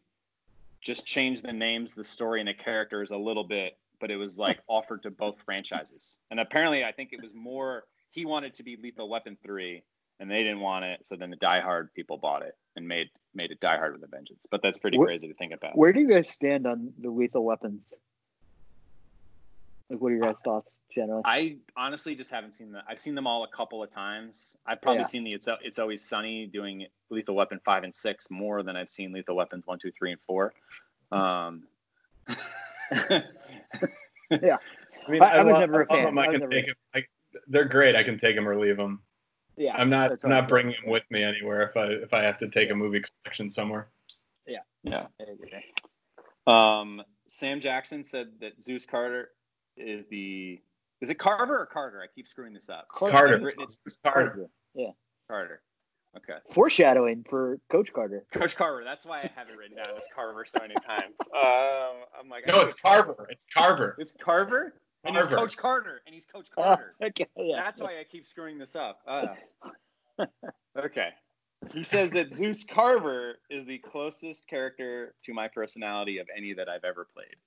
Wow, Which is Uh, so, it's kind of cool. Zeus Carver is a fucking amazing human being. yes. Hey, that lecture he gives to those kids, that's phenomenal advice. I mean, it stands the white person part. Like, that's, Well, not, I don't know. I mean, I think that might be the Yeah. best part of, Yeah. of his advice to probably be right. Yeah. nephews. Um, He also like if you look at like the evolution of Zeus Carver's character too is incredible because he he goes from not giving a fuck whatsoever. Another one of the, the quotes is you're you mean to tell me I'm in this shit because some white cop threw some white asshole's brother off a roof? It's a great yeah, quote. Yeah. It's a quote. That's why he's here. yeah. He goes Imagine from Laurence that. Fishburne saying that. Like, Yeah. Oh, not It doesn't land. It doesn't land. It He doesn't goes land. from that. He goes from that, not caring at all, being completely apathetic, giving zero fucks, to all right. Now I'm gonna solve these puzzles because there are other people's lives at stake. Think about this. To now I know that my nephews are in Chester A. Arthur Elementary, and that's the, the next thing that is consequential after that. After the realization is the bridge jump where he backs McClane off and goes, "No, I'm going first. yeah Quick, quick note Uh, on that. Just uh, Chester A. Arthur, uh, Union College graduate. Just gotta throw that in there. nice. That's where I went. That's where I went to college. Uh, Donald Trump, Penn graduate. Uh, um, Sam Jackson said he got his look in the film from studying Malcolm X, so that explains the glasses and the and the, and like the it. clothes. I don't know why he was Oh. looking for Malcolm X for inspiration for this role, but Yeah. I guess uh, maybe something just clicked with him. But I like it. Wait, um, Mike, we talked about we talked about Sean Connery being cast. I just thought the only way that this movie works better with Connery in the role is the meeting of Mr. Vanderflug doing a flower business currency exchange at the Federal Reserve. That's the only role. That's the only part of this role that Connery pulls Yeah. off better than Jeremy Irons. maybe the sex scene too. Uh,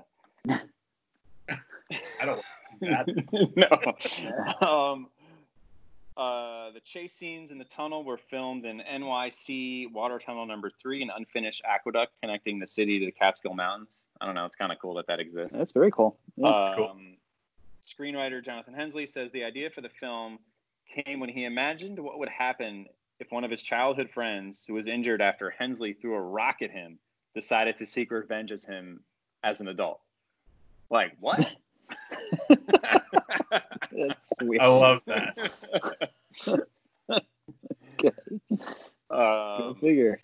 and this is the third of five films that Bruce Willis and Samuel Jackson have appeared together. Started with Loaded Weapon one, speaking of Lethal Weapon, the parody. They started in that. Then Pulp Fiction '94, this in '95, and then they did Unbreakable and Glass together. Um, so they've their chemistry is palpable, and it, it's gone on and stood the test of time. I actually love Unbreakable. I, I think that's a, a very good movie. I think it has its flaws, but I enjoy the entire trilogy of Unbreakable, Split, and Glass, which I have. You saw watched. Glass? I did. I watched it on a plane. You I were really supposed like. to see that, Mike. You and I were supposed to see that one in theaters, and it, it, it didn't end up happening. I really like Split though. Um, whatever. Moving on. Uh, you guys have any internet research that you found? That, that was the, the highlights for me. I got a couple.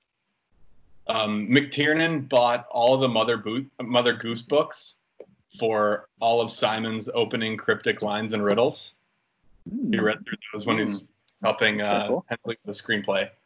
Uh, Jonathan Hensleigh, the screenwriter, based the uh, 72nd and Broadway to Wall Street station, the drive through Central Park, on a real life urge to go off roading in New York City to avoid New York traffic.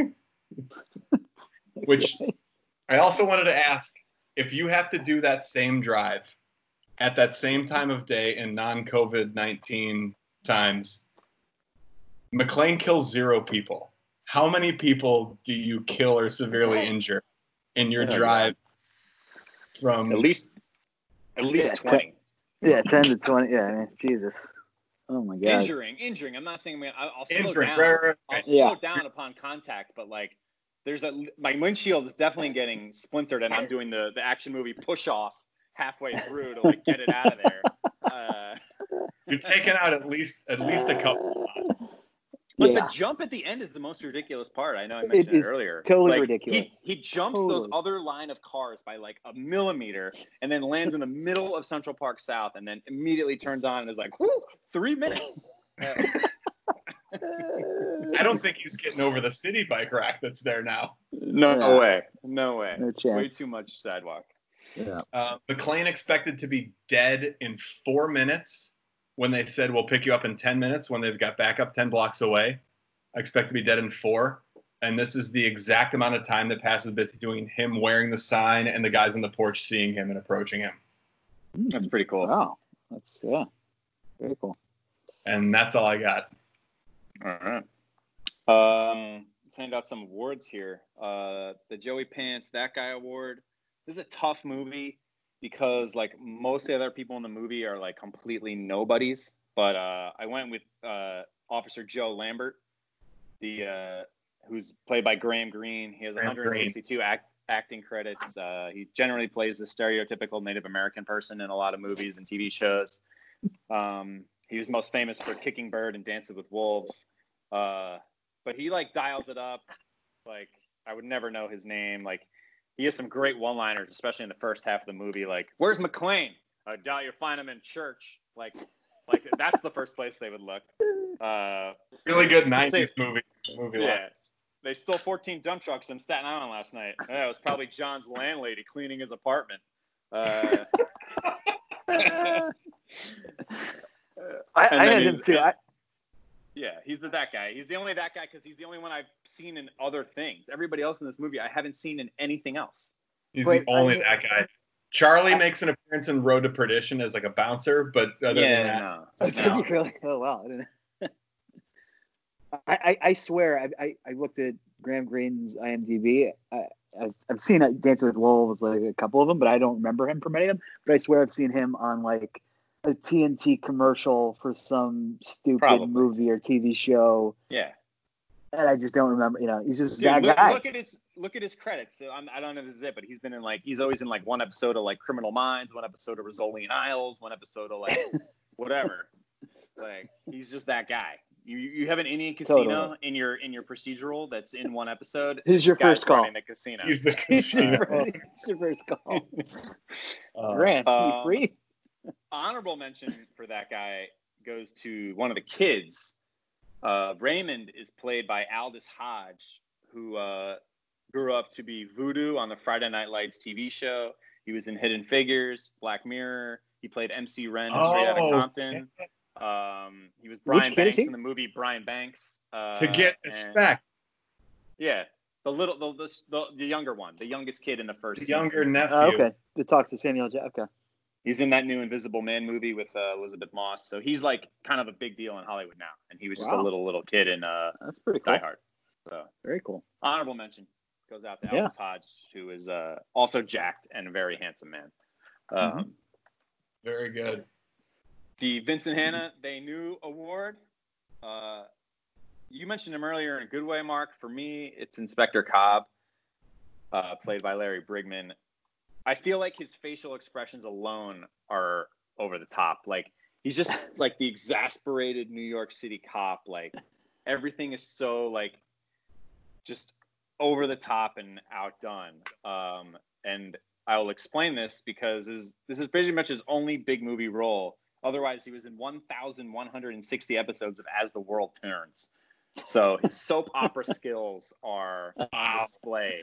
Knowing that, I was looking for them, especially like he just has that soap opera looks like all the time, like the giant, like the bug eyes and like the, ugh, and just like everything is so over the top. 1,160 episodes of As the World Turns. Oh my god. You can't even sit through that, let alone acting in it. I didn't have any others. Walter be honest. Cobb, Like, really, I didn't have I actually I liked him in this movie. maybe as the as the overacting award. I, I- for me, it just his face, his face overacts for me. Like he just, it looks, it's too much for me. Like He feels like the calming presence of the movie, though. He's the guy that's like that's asking John McClane how his kids are. We've got time to talk about the lottery, even though somebody blew up a department store ten minutes ago. We, he's given the speech to everyone after they tell everybody that you can't use your radios. We got to search all these schools. He's like, I don't think he's overdoing it that much. I can tell you who's overdoing it. okay, Who do you got? My two nominees are um, what's Sam Phillips as Katya, yes, who I- is I have it- her, I have her only as well. and it's only there, there are two people in the same scene.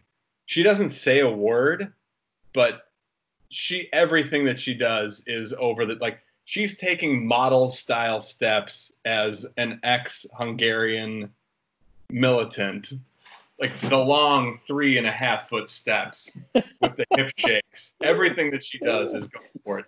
But my my top nominee for the overacting award goes to the guard inside of the Federal Reserve who gets killed by Katya in that scene where he fires Oh, 15 consecutive shotgun rounds he's freaking out. He's freaking out. wall while screaming.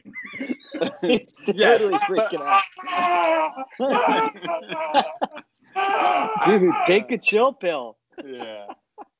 You, the Katya's character, like going back to her too, like she's mute because she has that giant scar on her like throat or whatever, Did you right? say a word in the entire movie? No, she's mute. Mm-mm. I, I, I Um, did not know that. I, yeah. Wow.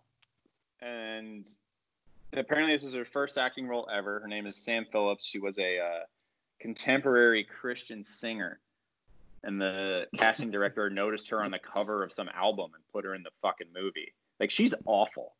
Yeah. Um, I mean, It's a weird part. comes- I do, I do enjoy when she comes onto the scene. Like the knife skills, I guess, are kind of impressive at first. Like, and that's the first time you hear the music. But like, she's so over the top with her facial expressions too. And like, yeah, I think he's dead, my dear. I I had uh I put Targo for this this award. I, I Yeah. feel like all his faces are like he's trying to be the big German scary guy. He's overdoing it. I don't know. He's trying to be this tall guy walking it. I don't know. I thought he overdid it, but it's a tough category. Are we? We might be confusing um, overacting with Dion Waiters. Nah, We might I'm not giving mixing this up. Targo Dion I Waiters. have- that's for sure. I have my, I have my Dion Waiters Sam, award. I have my. Uh, let's All just right, go let's there. go. Wait, My so Dion who Waiters- wins, who wins? They knew. Is it is it shotgun guy at the Federal Reserve? That's a good call. It's a Let's it's an just obscure call, because, so I'll agree yeah, with that. Yeah. It's too hard. It's too hard for this. It's a tough Okay. Um, my Dion Waiters is Charlie, the bomb squad guy. Uh, he starts off. He sets off the explosion with a paper clip, like in the police station. Do you know how crazy you have to be to set off a bomb explosion in the fucking police plaza? Like you don't do that to make a point. You can do that in a trash can. He can be like, "Here, guys, come over here in the sink." He just throws it into the fucking main room and lets the explosion. Charlie, happen. I'm gonna kill you. And he's just Charlie, like, you're gonna be wearing the champions. he's he's so excited about bomb stuff like all the time. And just like the way he has that whole diffuser scene at the end somehow that white powder gets on his hands and it's all over his face. The sweat's dripping down. Like he's not i don't even know if he knows what he's doing. Um, but i all i wrote down in my notes was poor man's philip seymour hoffman. Oh shit. Good call. i really love charlie. He brings in every scene he's in and he like, makes his presence felt. I I felt like he was like horny for the bomb, like to like look at the bombs and like yes try to defuse them. Like he got off on that. Like, let me take a look. I'll, I'll go in. He's like the uh, the scientist in Independence Day who, when the president shows up, he's like, yeah. the last few days have Yeah. been really exciting around here. And he's like, exciting? People are dying out there. for me, I don't know. There's no one else for me. Uh, oh, actually, I have an honorable mention. Uh, Jerry, the truck driver, really brings it. Uh, I had him. I had him as my my guy. So he gets the gun pointed at him, and he's like, "Are you a truck driver?" And he's like, "What do I look like, a beautician?" Of course, I'm a truck driver. And then he goes, he proceeds to like give the history lesson of all the tunnels and all these facts. He knows Chester A. Arthur. Like, he's just like just a great. He's a great character. That guy. yeah, So those are my two. I agree with those two. What do you got, Andy? Uh, I got uh, uh, Charlie is my. I think Charlie's my winner.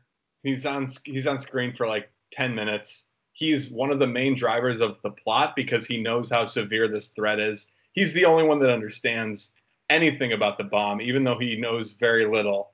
Like at the end of it, he's got children in the building, and he's just on a wing and a prayer trying to defuse this bomb. Like, well, it's gonna go with the green one. Oh, cut this. yeah. Pancake syrup. He's great. He gets so ex- he get. I love the nerds in the in movies that get really excited, who get so focused on what their specialty is that they forget about the grand scheme of what it, the implications of what they're looking at are. Like, He's yes. very cool stuff, and then he starts spouting off some nonsense about how they use this like negative feedback loop on the bomb in Lebanon, and Cobb's like, "Shut up, Charlie." Simon's on the phone. It's great.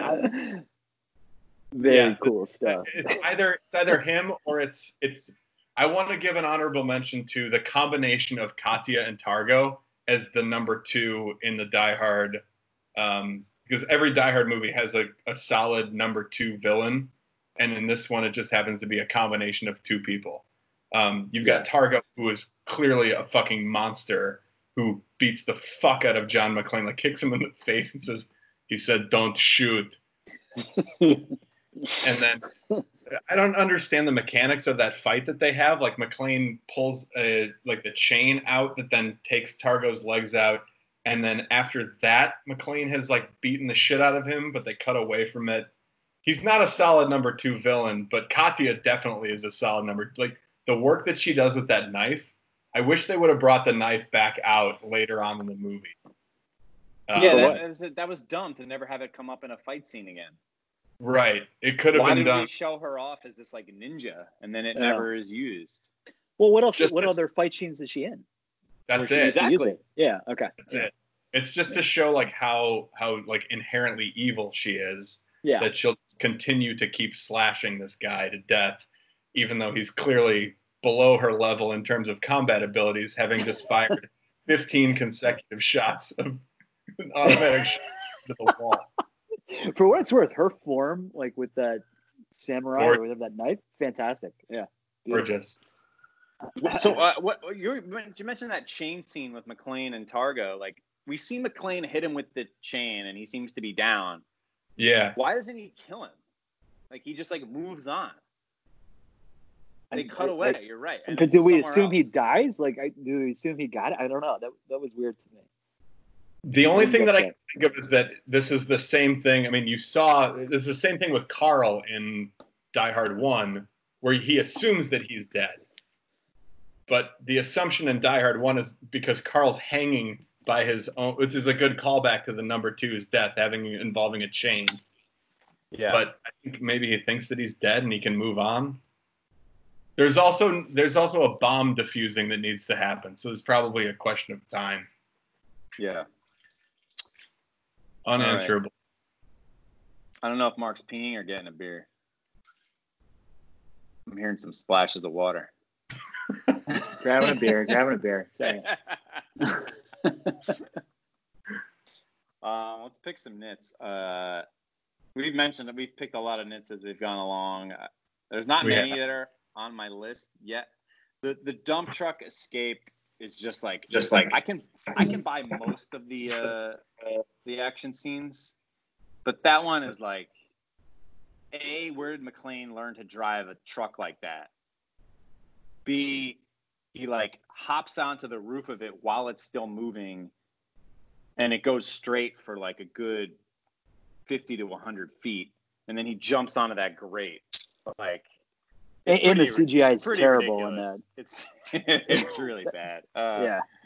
I'm just wondering how that truck stayed straight you know there's no shot of him like doing the you know putting the brick down on the, the wheel like he just like pieces out and then hops onto the truck and then and then gets there i don't know Yeah. It- it- yeah. I agree. I agree on that, That one. one's poorly staged. I think I don't think that that scene ever should have happened though, because here's how it here's how it goes down.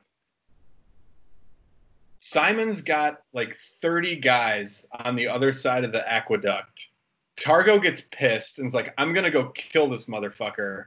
Has six guys in dump trucks with machine guns with him, and Simon's like, "No, I'm gonna ease Targo's anxiety around McClane still being alive by saying, "Here, let's do a Bond villain plan and let's blow him up and drown him without actually seeing him dead."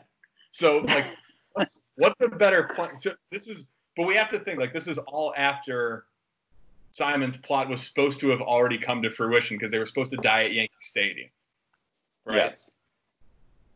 So Simon and Targo think that a better idea than sending nine guys with automatic weapons into a tunnel to kill one person isn't as good as let's blow the dam up with this bomb that we have left over and hopefully he drowns.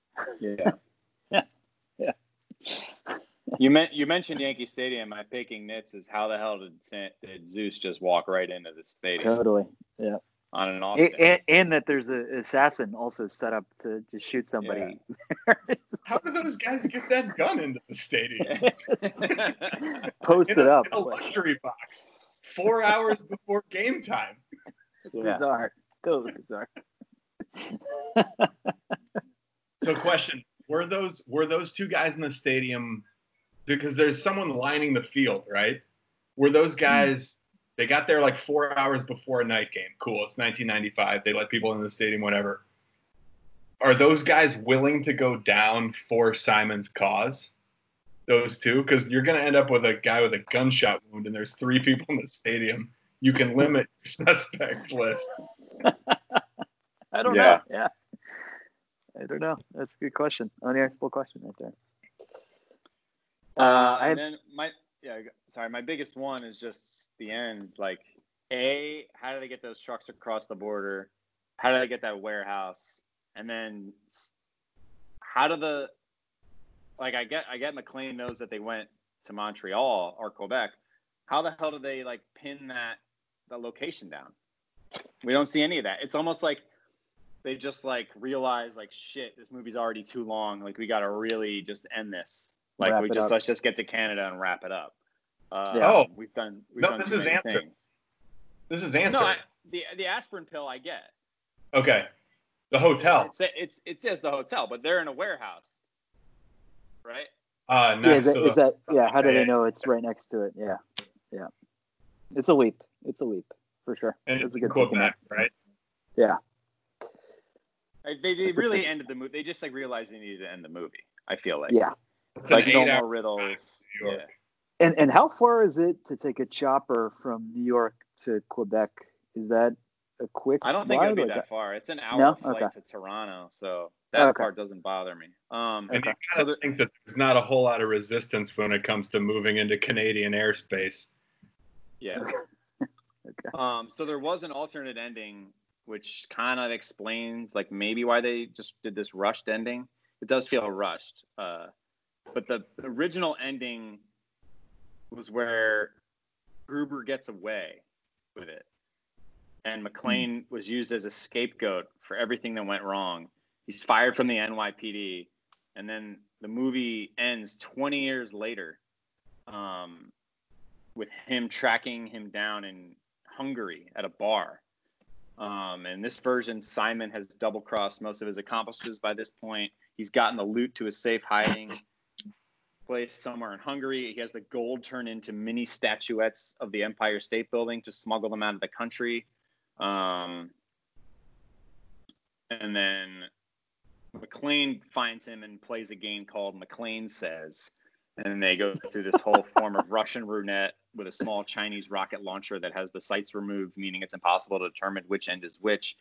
I, it sounds very ridiculous. Um, and another like hour of the movie. That's So, like another um, movie. I'm Yeah. that's- yeah. But they, they shot Jesus. it, so um, Wow. It ends up I with watched- I watched watched it? Last, I Was it watched that last thing. They filmed it. Um, you only you only see the when they when he sits down inside of Simon's I guess now villain lair, and with the Chinese rocket launcher, and it's McClane asking Simon esque questions to Simon, who's unprepared for them, and it's I think they stole the whole thing from the Vizzini uh, move with the black man in black from the Princess Bride with the wine glasses Yeah. where he Okay. spins him around. And I guess McClane's wearing a flak jacket, and Simon ends up blowing himself up. It's. I'll take this ending over that one. It's Yeah. dark. The other one's darker and weirder. It, it doesn't work. I don't think it works at all. Yeah. That's it for me on picking nits. I mean, we, we we touched on a lot of them. It's an action movie, so I don't like to go crazy. But uh, My yeah, last. guess gotta- we, we talked about New York. oh, go ahead, Mark. I, I got a few others. They're they're small, so I'll just kind of go through them quickly. Simon uh, calls into the Elvis Duran radio show. He just gets right in. I don't know how he gets right into the radio show, but he's on the air right away. Thought that was Also, neat. Elvis Duran was on in the morning, which is a nitpick. If you wanted to go that far, That's nice, good call. Elvis Duran in the Z Morning Zoo, right? Yeah. Uh, uh, in Tompkins Square Park where they did the jug thing. The briefcase with the bomb is just kind of sitting there on the water fountain. Nobody grabs it, just sitting there. Nobody kind of in Tompkins Square Park where you have a kind of a lot of you mean but people. you mean before before they get there? yeah, before they get there. Yeah, Yeah, yeah, No- yeah. Someone picks easily that could have up just blown and- themselves up. Yeah, Yeah, nobody picks it up and looks at it. Uh, I mean, why Simon doesn't kill Bruce or uh, Samuel Jackson? Uh, he has a multitude of opportunities to do that, right? I mean, Yeah, I mean that's that's Bond. I know, I know, I know. I'm, I'm nitpicking. I'm nitpicking. He wants to torture him. Uh, and then the last one, again, this is just nitpicking the way the movie's gone, but in the aqueduct, when Bruce is talking to Jerry, the truck driver, and he's like, "Go find the inspector." In a city total of total chaos right now. About ten minutes later, Jerry finds the inspector. She's like, "I was told to find." what the hell? Yeah. There's no chance he finds the inspector within 10 He minutes. also, he also never told Jerry to not use police and FBI frequencies. like just, just go find him. Oh, by Yeah. the way, if you try to use the police frequency, the bomb's gonna blow up. Which is another I- one of my nitpicks. If so, Simon in the in the FBI van scene says the dan the darn things seem to respond to police and FBI frequencies. Are there not cops on police and FBI frequencies all over the city at that moment? Like, there's other crimes right. going on. Every- everybody. Yeah. if anyone was smart enough to figure this out, that bomb would have blown up a thousand times over before Yeah. they even figured that. Yeah. Before Simon even told anybody. But there was no bomb. Exactly. Yeah. But Yeah. someone should have figured this out and been like, wait a minute, it should have already gone off, and therefore he's bluffing right off the bat. Yeah. Um, That, but that's the McClane- genius of setting off two bombs already in the city, people. Right. Right. Yeah. Yeah. You've established credibility, which is why the the man to St. Ives, the bomb in, in the department store, and the bomb at the Wall Street station are so brilliant because it establishes that he knows everything and he's willing to do whatever it takes to get his to get his plot through. Um, why isn't the federal why is the Federal Reserve still taking appointments from flower industry salesmen when the seismic alarm have already gone off? Yeah. That's Great a big question. problem. Yeah. Uh, I got no answer for you there. That's, that's a bad. That's that's a bad phenomenal. twist. Or after a subway just exploded three blocks away. Dear Uh, God, if anyone knew. Uh, yeah, that's bad. Um, Cobb says that they've got three hours and 15 minutes to, fi- to find this bomb. So the, the FBI call ends at 11:45. Simon sends McLean and Zeus to Tompkins Square Park from Wall Street Station. He says, 20 minutes, no rush. I, I looked at this. Go go by foot. Go, go by foot. Go by foot. It's 2.3 miles in 18 minutes. That's a 745 pace. They're not. They're run. They're hoofing it though. They are hoofing it. For a 50 year old electrician hungover as balls cop. I'm just saying, the geography is a little off, but my question is which one of us has the most has the best chance of not getting there before the bomb explodes? Wait, Andy, you're saying it's uh, walking time is yeah 2.4 miles. You're right. Okay, it says 50 49 minutes. Yeah, It's 50 50 minutes of walking time, but it's a 745 mile for 2.3 miles. Mark, I think Mark could make it there. Well, Mark could make it, obviously. We know that Mark could make it. Mike, which one of us Twenty-five year old me has, could have chance- has, the, it. has the best chance of, of making it? Not me. I- I don't think I could do that right now. I, can't- I honestly don't know who I'm betting on. We're a month into quarantine. There's no way I'm making it. 745 for 2.3 miles?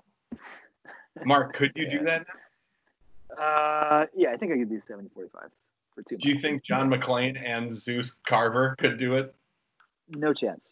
No chance. He also said no rush. Go by foot, no rush. No, no. Yeah.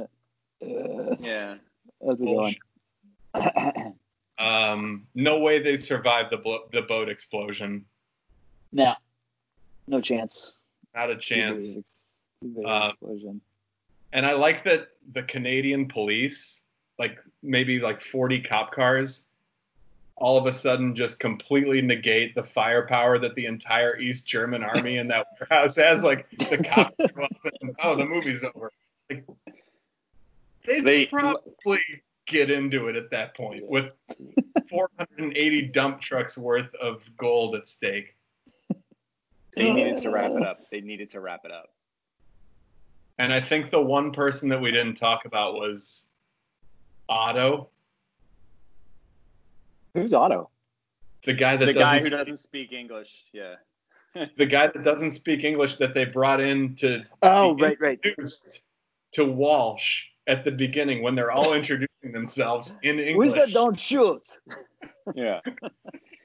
Otto doesn't speak English, do you, Otto? Why do they bring this guy with them? well, is he's he- good muscle. He's good muscle. He's not good. He's holding the gun to McClane's in the, in the elevator scene with the with the lottery ticket bat. Uh, He's holding the gun to McClane's chest for 30 seconds after McClane has shot two people, and he's saying, "Don't shoot, don't shoot, don't shoot." and only after McClane moves the gun away does he start emptying his clip. Like this is he's the wor The recruitment job on Simon's part is a little suspect. That's bad. Agreed. Yeah. yeah, that's fair. I, I agree with that one. Uh, I also was wondering why do they lock the school doors like when they're going through the school? Like, why do they actually lock them? Like, what's the point of that? like, why are you taking the chance that tests? Mark? Maybe there's some like spelling It's- tests in there. it's that so don't wanna dumb. Get stolen. Uh, when he's You're closing right. down the school, they, they literally lock every single door.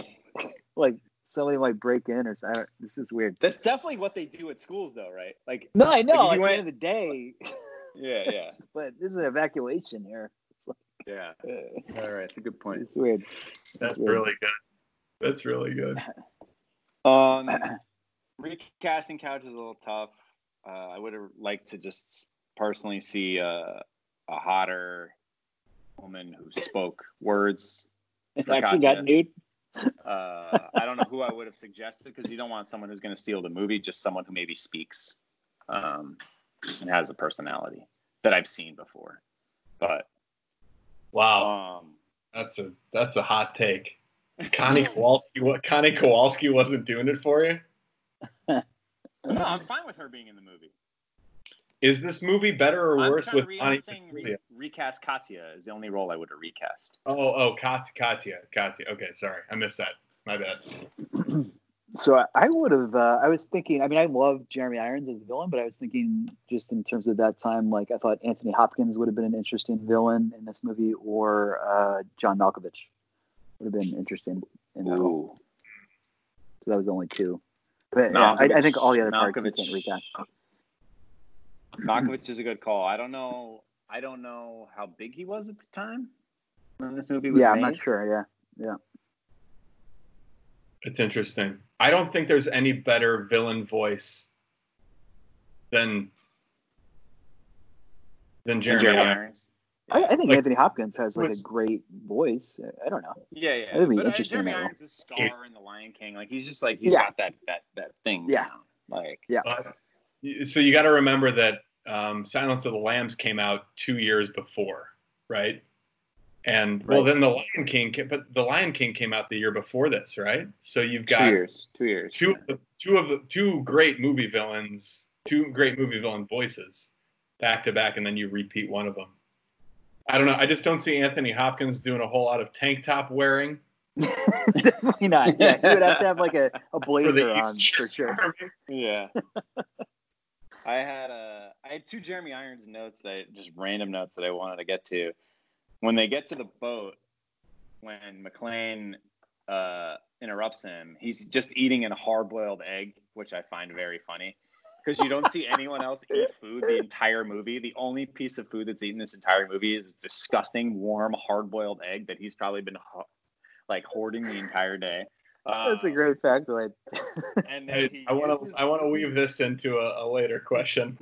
he uses the term communique very nicely for like a good five minute stretch where he, he drops communique like five times in a in a five minute stretch like no one says communique this is a communique from simon gruber of the hsc whatever they are uh, it's That's great. good. that's it That's really great. but let's go do some unanswerable questions since you just uh, referenced it. That was next anyway. So proceed with your egg question. Well, the it, it revolves around the egg, que- but my my first question was unanswerable question was better evil plot, Hans Gruber or Simon Gruber? Simon. He actually like thought out riddles. Yeah, I feel like that's more diabolical, Simon. It, it takes a lot more planning and I don't know. What do you What do you think, Andy? I mean, it's it's a way better it's a way better Simon's got a way better plot, and Yeah. it goes it goes all the way into we need to make sure that we've got a salt and pepper shaker on the deck of the ship that we're gonna eventually end up fake blowing the gold up so that I can put salt on my hard boiled egg when this is all over. Uh, yeah. Um, I, I, I thought that of would yield a lot more discussion than it actually did. So all right. No, I, I Uh, think I yeah. think it's 100 percent Simon. This movie for it's me, this Simon, too. movie's better in like every respect, from my, like my personal point of view.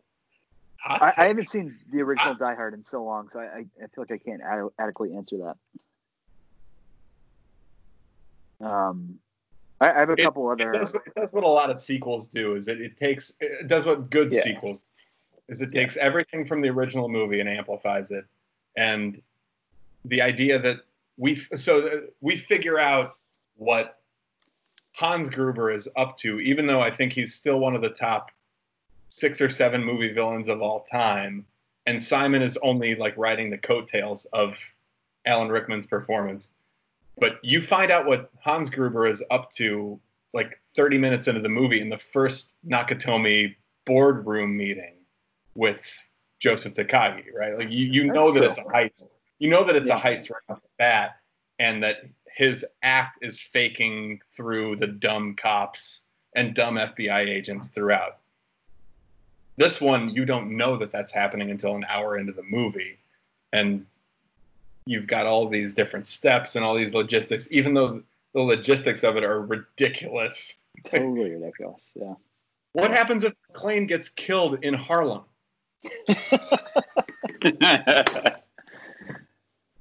I, Which, yeah, I don't know. By the way, was well on the way to happening before Then he would have just put a, in the other cops the the Ebony riddles, right? Samaritan shows up. What, Mike? He would have just put the other cops through the riddles. I don't know. I, the, the key for Simon is really just saying that there's Mhm. a bomb in this school, right? I feel like that distracts everybody. There's no Yeah. schools downtown. That diverts e- every police officer uptown. But you That's really still the need to his. you still need to exp- you need still need to blow up the bomb in Wall Street. That's the key to it, right? That's true too. Yeah, that's true too. Yeah. Yep. He knew that he knew that McClane's going to make it out of Harlem. Come on. Because he killed his brother. And he also didn't care. Like if he would have if he wanted him to die in Harlem, he would have like made sure he died. Whereas he kind of like wanted him to just like be rattled a little bit. Yeah, so we assume we, we assume that Simon also knew that McClane would be hungover, and this is just a, a shitty way to start his day. Yeah. Rubbing it. in. Hey, Andy, we, we gotta go grocery shopping at eight o'clock in the morning. All right, fuck, Yeah. too much last. Okay, um, I have one. Why did he give him the aspirin bottle? So I, I, I relate to that. I feel like they were both taking pills back, back and forth. I didn't know if there was some sort of foreshadowing to each of them hmm. taking pills. I, I don't know if uh, the director was thinking about that. Yeah, I, it's an unanswerable question. Simon Simon took an unhealthy doses of aspirin that day. He was pounding. So he took a lot of them. Did McClane take any? I mean, he took maybe one or two, or I don't know. I, I thought there was like a deeper meaning to that. No, I I, couldn't think figure he, it out. He, he was asking for him all day long. And he finally got him. the maybe question it, though. the question is, why did McClane ask for aspirin knowing that he was handcuffed and couldn't possibly have any way to take the aspirin? Also, great toss, like Great. a flight In of the stairs lands it right in his nutsack. Yeah, that's pretty good. throw. Yeah. That's somebody who knows how to like kind of play something, so you you know you can't catch it with your hands, but he'll place it in the right spot so it doesn't drop. That was, that was well done. Yeah, I think Uh, that if, if I were if we're going back to a different version of the director's chair where I get to remake the movie by myself, I would have I would have had Simon give McClane the aspirin while he's laying down on the deck before he ties them up to the bomb. Mm. I would have had that be the last interaction that they had. I would have had Yeah. it come earlier and have him actually take the aspirin and keep the bottle. I do like how McClane calls them aspirins, though, plural, which is like a nice touch. It is nice nice. New York touch. You have the aspirin. Uh, I had um, uh, as another one for, for unanswerable question um, is Lieutenant McClane the best action movie driver ever? And I was trying to think of the list that would be on that, but I thought he was phenomenal driving the taxi through Central Park. He, you know, he's driving on FDR. yeah. If you want to stuff. exclude the Fast and the Furious franchise, we Well, I, can have a I put that, that the yeah, Fast and the Furious people on the Uh, list. I put Ryan Gosling and Drive was another one that came. The kid from Baby Driver. If you want to go He's not, Sandra Bullock he's and not a better driver than Dom Toretto. I'm telling you that right now. Uh, okay. But this is a, no, Mark. It's a it's a good it's a good segue into John McClane being the best nobody average guy to then be good at things under pressure. yeah, like the Fast and the Furious people, they specialize in driving. Clearly, like They're all he's just- professional. Yeah. John That's that's He's yeah. just the New York cop. Like John McClane is not the greatest terrorist killer in the history of action movies. There are CIA guys who are like trained killers throughout all of the history that are better at this than John McClane.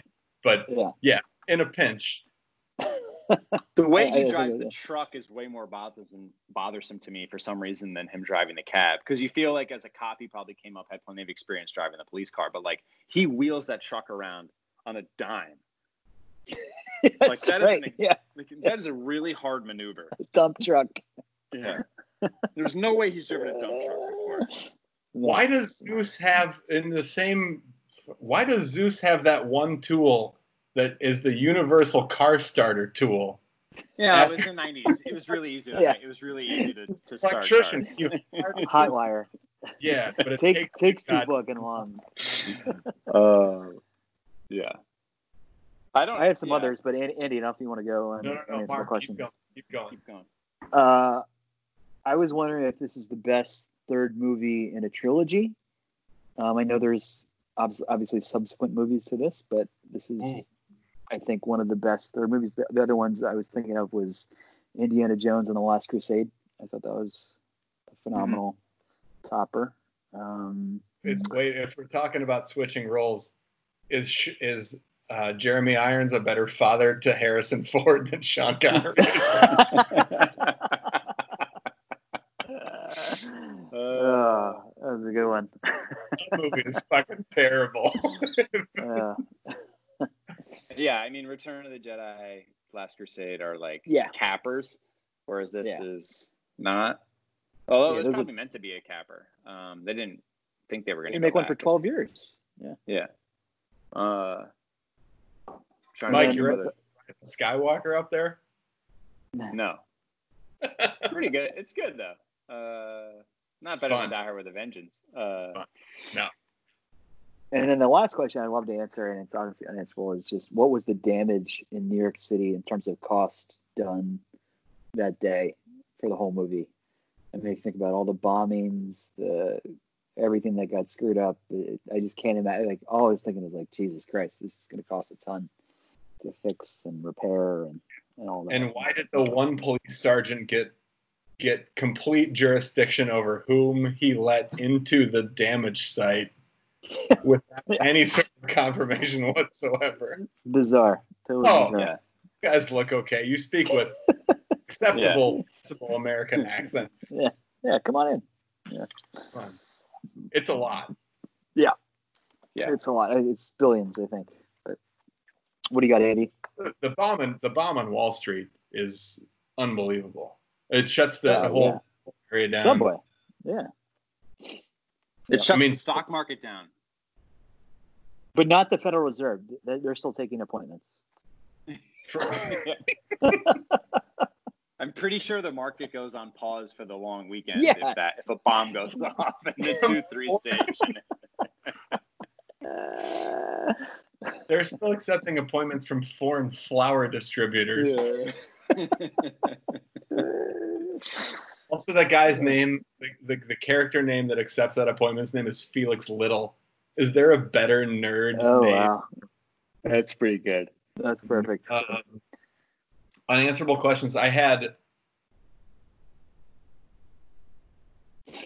What's Zeus's plan for the rest of the day if he doesn't have to deal with John McClane?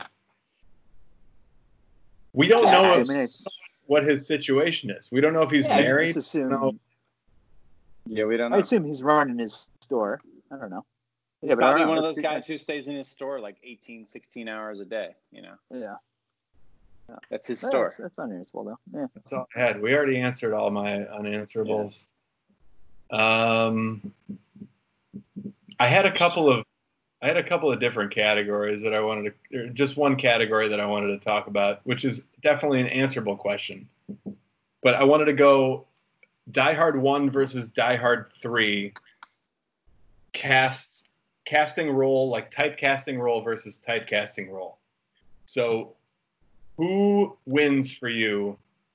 The hero in Die Hard 1 versus the hero in Die Hard 3. So we're going McClane versus McClane. Where do we get a better Um, who's a better McClane? the non-hungover one. It's Yeah, I Die think Hard it's Die Hard One. Yeah, Yeah. I agree. Yeah. The better number two. Sergeant Al Powell or Zeus Carter? Zeus.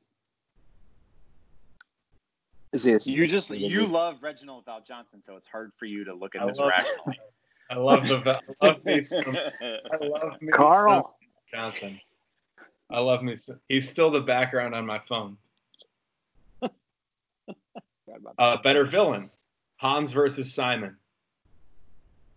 I, we touched on. it. I, I I I like Simon better. I, I just feel like he's more diabolical, but I think the arguments you can make for the other side too. I, I pick Simon. 'cause Alan Rickman, like like the, the latter part of his career, wasn't as a villain focused, whereas No, we're Jeremy talking Irons is. these two movies. Just these two. No, I know, but I'm saying as, Okay. as I look at them now, as I can't watch the the two actors now. Like Jeremy Irons is just the villain, right? He's always the villain. It's like what he specializes in. Probably because it started with like this movie in The Lion King. He's just really good at playing a bad guy. So But we're talking like- about actual villain. We're talking about. No, we're not talking about Alan Rickman versus Jeremy yeah, Irons. yeah, yeah, talking I know. Hans Gruber versus Simon Gruber. Simon's still better. He's had more time to, to plot this out and plan his revenge, I think. The younger brother's always better. In movies. Says the guy that's got a multitude of older brothers.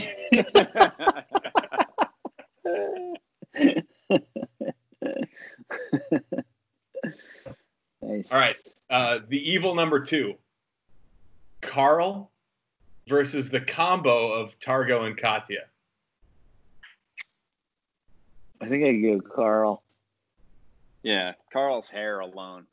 Yeah. I hate I hate Katya. She sucks. yeah. Uh, She didn't get enough knife time. No. If they showed her more doing yeah samurai knife stuff, it could have been more She's interesting. got a really good career in the American farming industry. yes. Uh, the cops in Die Hard 1 versus the cops in Die Hard 2. Or Die Hard 3, sorry. Mm. Just like overall, I guess Die Hard one, they're better. The New York cops are terrible. What? They're not. They don't. They're not good at this at all. They complete. What are they bad at? Well, They don't defuse the school bomb in time. They don't stop. They actually don't stop anything. If you think about it, But they at least McClane does. Okay. But we can think about all right. So let's let's think about the the cops in the first movie versus the cops in the second in the third, right? You've got who's the who's the sergeant in the first movie? The guy who who is it? Oh yeah, Paul Gleason, Dwayne T. Robinson. I love that He- guy. He's the guy at the helm. Did he do anything right in the first movie? I don't know, but he's the pre- he's the principal from the Breakfast Club, so I feel like he's more of an authoritative figure than than Cobb. Walter Cobb, I, I don't know why why can we can you guys tell me like why you guys are down on Walter Cobb as Whoa. the police? I, I love just- Walter Cobb as I, inspector. I, I just for, think for the like, record. like I, I think for me, I get caught up sometimes like looking at their acting careers, and I'm like, why was he never in anything ever again, and why was he never in anything before this? Uh, We're talking strictly about characters. yeah. we're yeah, he's character- phenomenal in this role. I, I agree, Andy. I guess he does a good job. You're right. He does a good job. He's great. Uh, the FBI guys in the first movie versus the FBI guys in the third movie. I think the first movie, right? I mean, The the ones in this movie do literally nothing yeah, they're than just present present the information. But I, I don't Mark? even know. Mark, what do you got? yeah, He said movie, first. He said first. Yeah. yeah, yeah. So I What do have. you have? I think that the FBI guys in the third movie do literally nothing. They tell you who the villains are, and that's it. And the villain knows exactly what it is that they're doing. The FBI guys in the first movie not only do nothing, but every move that they make advances the plot of the villain. Yes. Ladies and gentlemen. I too. give you they they shut the power down, which opens the vault. They're cocky as fuck. They get killed at the end, and also lead to the greatest line in the history of all Die Hard movies, which is after the roof blows and the helicopter blows up. Um, the police Gleason goes, "We're gonna need some more FBI guys, I guess." uh, should we go to best quotes now? Yeah, that was that's all. well, I was just playing off best quotes. Uh, the FBI didn't need to be in this movie. You could have cut that scene out and just had the New York people do it. It was It's a only good scene, but they- they don't said, need them. he calls out the guys and tells them what they are. But you, it was inconsequential in the end of the day. Yeah, it was cool that the New York guys didn't know anything about the LA thing because everyone in Yeah. New York is so New York centric. It was cool that they had Yeah. no fucking clue what was going on. Yeah. Yeah. We we talked about most of the best quotes. The only other ones we haven't mentioned. I think my favorite one is still Zeus saying what his name is. Like I don't think anything's getting better than that. Uh, but I do like Do it. Right, Do it. Right before that, he says, "You're trying to relate to me? Talk white." Uh, Talk like a white man. I like when uh, Bruce Willis says to when he's on the when he first takes over the uh, dump truck, he says, "Nils is dead, you fuckhead." I just really like fuckhead. and I Fuck- he like said that a couple like, the times. first times like he invented fuckhead, and it's a great term. Uh, Can I can finish stick- it? Can I finish Yes. it? Yeah. Attention. Nils is dead. I re- Nils is dead, fuckhead. So is his pal and those four guys from the East German All Stars. Your boys down at the bank, they're going to be a little late. yeah. That, that's good. when he's in the chopper, right? He, he's No, no, that's when circling. he's in the dump No, truck. that's when he's oh, driving in the the jump truck. truck. Oh, okay, okay, right, right, right. Nils right. is dead, fuckhead is incredible. Yeah. It's phenomenal. Uh, you can stick your well-laid plans up your well-laid ass is the only other Samuel L. one we didn't mention, but that's a great one. that's a good one. he hangs up the phone, and the cops are like, "What are you doing?" And McClane is laughing into the phone. Yeah. That was a good Yeah. Mark? Uh, I had when I had one obscure one and one more mainstream. One when uh, when Bruce Willis uh, commandeers the BMW from that rich guy, and he just like as he's like taking his car, he's like, Yeah. "Who is the twenty first president?" He's like, "Go fuck yourself." and then uh, the other one I had was when the police captain's like, "I got a detective that's two steps away from a full blown alcoholic," and uh, John McClane mimics him like, "One step away, one step away." One step away. One Uh, those are my two. Oh, that's good. I had go fuck yourself after the movie. It's really fun. Um, I, there's a difference, you know, between not liking one's brother, not caring when some dumb Irish flatfoot drops him out of a window. That one's good. Um, also, when they're talking about, I don't necessarily. Remember, oh, he was talking about the 21st president to right before his cell phone goes out. He goes, "Have you been drinking, McClane?" He goes, "No, not since this morning." yeah. You mean to tell me I'm in this shit because some white cop threw some white asshole's brother off a roof? So That's good. a great quote. That's a great quote. Samuel L. Zeus introducing him, father of Apollo, Mount Olympus. Don't fuck with me, or I'll shove a lightning bolt up your ass, Zeus. and so good. one That's of my favorites. One of my favorites, just like in setting how serious this bomb and the threat of it is, is Charlie in that first scene where he says, "Well, once it's mixed, be somewhere else." I think Yeah, yeah, he's getting off on that. Yep. Loving it. Fucking Charlie. I love the way the inspector says Charlie. Charlie.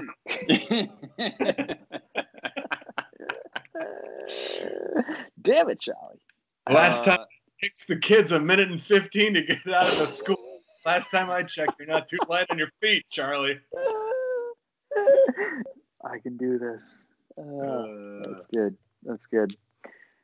Are we ready to top this off? No, no, Apex Mountain, quick. Oh. Uh, Charlie, definitely. Uh, Apex Mountain. uh, I think just McTiernan is the only one. I think it's obviously his Apex Mountain.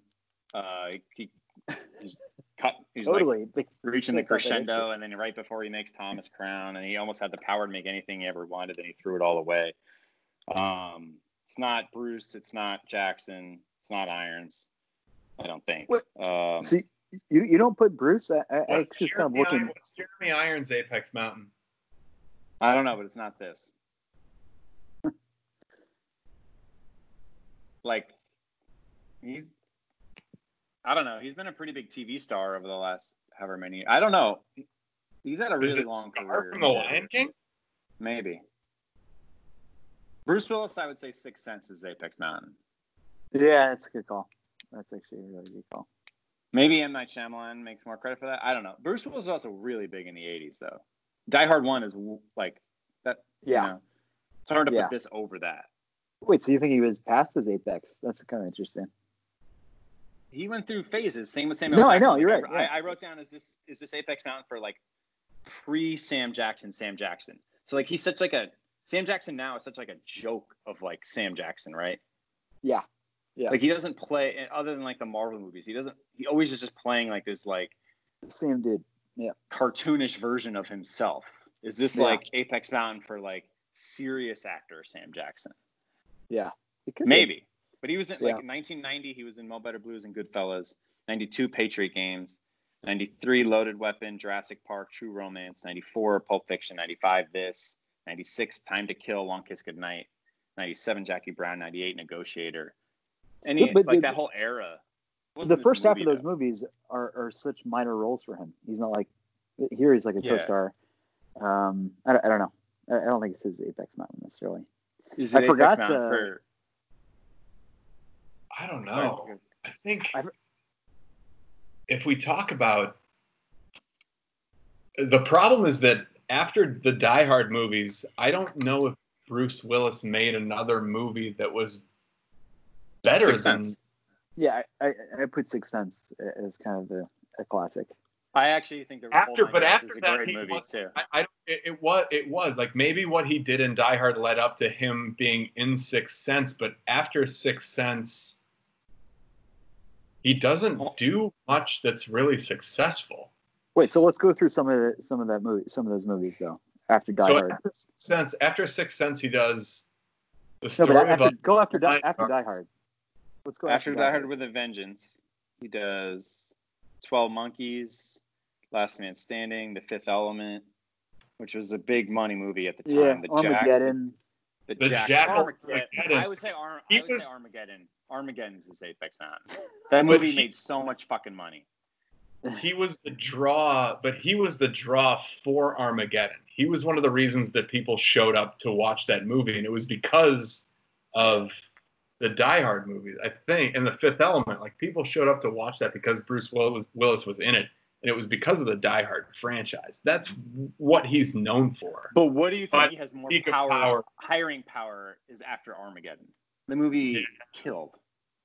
But he didn't. Uh, yeah, he did the fifth. No, the Siege, Breakfast of Champions, and the Sixth Sense, and then after that, it's He said he's had such an illustrious career. It's it's like so many maybe Yeah. peaks and valleys. It's hard to pinpoint. The last 20 years have been rough. yeah, I, I feel like Sixth Sense is literally the last movie that I I, I saw like one they're of Die all, Hard's all of them are like kind of jokes on like Die Hard, like the Expendables, Red, like it's all the same shit. Yeah, But he's I- still really entertaining when he's on the screen. He's like he's just a Right. true movie star, right? He's such a movie star. Yeah. But when you think of when you think of Bruce Willis, you don't think of anyone but John McClane. Correct. Right? Like that's your first. That's the first thought that comes That's the through. first, yeah. Like, who's, Yeah. who's Bruce Willis? Bruce Willis is not Malcolm Crowe from The Sixth Sense. Bruce Willis is John McClane. So then Die Hard 1 is Apex Mountain, if that's your case. We don't really know what the definition of Apex Yeah, Mountain yeah, is. yeah, yeah. yeah. Uh, Let's just move on. I, for, I forgot uh, Jeremy Irons was the like the CEO guy in Margin Call. Yeah, I don't know if he, it, it was a, he has a great like speech. great movie. Great movie. I, I think uh, Samuel Jackson, I mean, Zeus wins the movie for me. Who wins the movie? It's not John Oh. McClane. Sorry.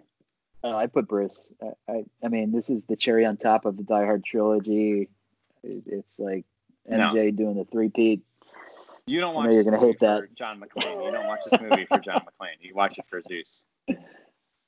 It's the only reason this Th- movie's them great. playing off each other. It's it's like Jordan. Yeah, but exactly, he needed it though. We Yeah. already we already like we we're only getting like retread lines and scenes from a character we know and love, whereas like Zeus wins the movie. I see. You walk yeah, the that's movie that's and you're fair. Like Samuel Jackson. Whoa, who's this? Give guy? me more of him. That- Yeah, Like what was that? Yeah, I like that. That's fair. I think you won. what do you got, Andy? I got a nominee. I don't think it, I don't think it beats. I don't think it beats Samuel L. Jackson, but I got a nominee for the unseen villain. I think that not knowing who the villain is for the first half of this movie, and the first half of this movie is the only thing that makes this movie incredible. The the the second half of it is another like above average action movie, but Yeah. if you don't see who Simon is, you know that there's a highly intelligent, highly motivated, crazy person on the other end of that phone, and it's terrifying because he knows everything that you're doing, and that trope never gets old. You do know Um, it's Jeremy Irons though. You do, right? But Yeah. until you see Jeremy Iron, you're like, well, when I was Yeah. another thing is like when I was when I was watching this movie for, for, for the first time when I was 11 years old, is the year after The Lion King came out, and I asked Yeah. my brother, why is Scar asking my question? yeah. Um, but I think that the un, I think the idea of the unseen villain and the the reveal of it, I think that still wins today. It worked in Bond movies. It worked Yeah. now. I still watch this movie to to see Samuel L. Jackson screaming, McClane. yeah. It's really about him. That's a good call. He wins. But it's another nominee. Zeus. I think that's it. I think we did it. Take We us home, longer- Mike. We went longer than the Sandlot by two minutes. So good for us. Uh, I can't believe it. I can't believe we talked about the movie for two and a half hours. Oh Die my Hard god. with a Vengeance. Uh, McTiernan, hopefully he can catch us on YouTube and uh, get some closure in his life and get back out there directing action movies. Because I'd like to see him come back for one more America Loves a Comeback story. Let's get He's one got more one. from McTiernan. He's got yeah. with un, with an unseen release date. My guess is it's gonna be fucking terrible. But he I'll hasn't watch made it. a movie in 20 years. Uh, I'll totally watch it. what's next? Can we tease the next? Um, What do we think? I don't even remember what was on our list. So, We I just gotta- remember Can't, Can't Hardly Wait was on there. uh, yeah, Uncle We can- Buck. we can speculate. Let's speculate. Well, we don't want to. We don't want to give Let anything him away. marinate. All right. For all, All right, for all guys. viewers. this Oh, was this fun. is fun. Uh, go watch Live Free or Die Hard and Die Hard Five this weekend, and Yeah. you'll appreciate this movie even more. That's all I have to say. Watch, watch Bruce Willis jump off of a an F twenty two in the middle Yes. of L. yes. All right, guys. All right, guys. Enjoy. All right. See ya. Yippee ki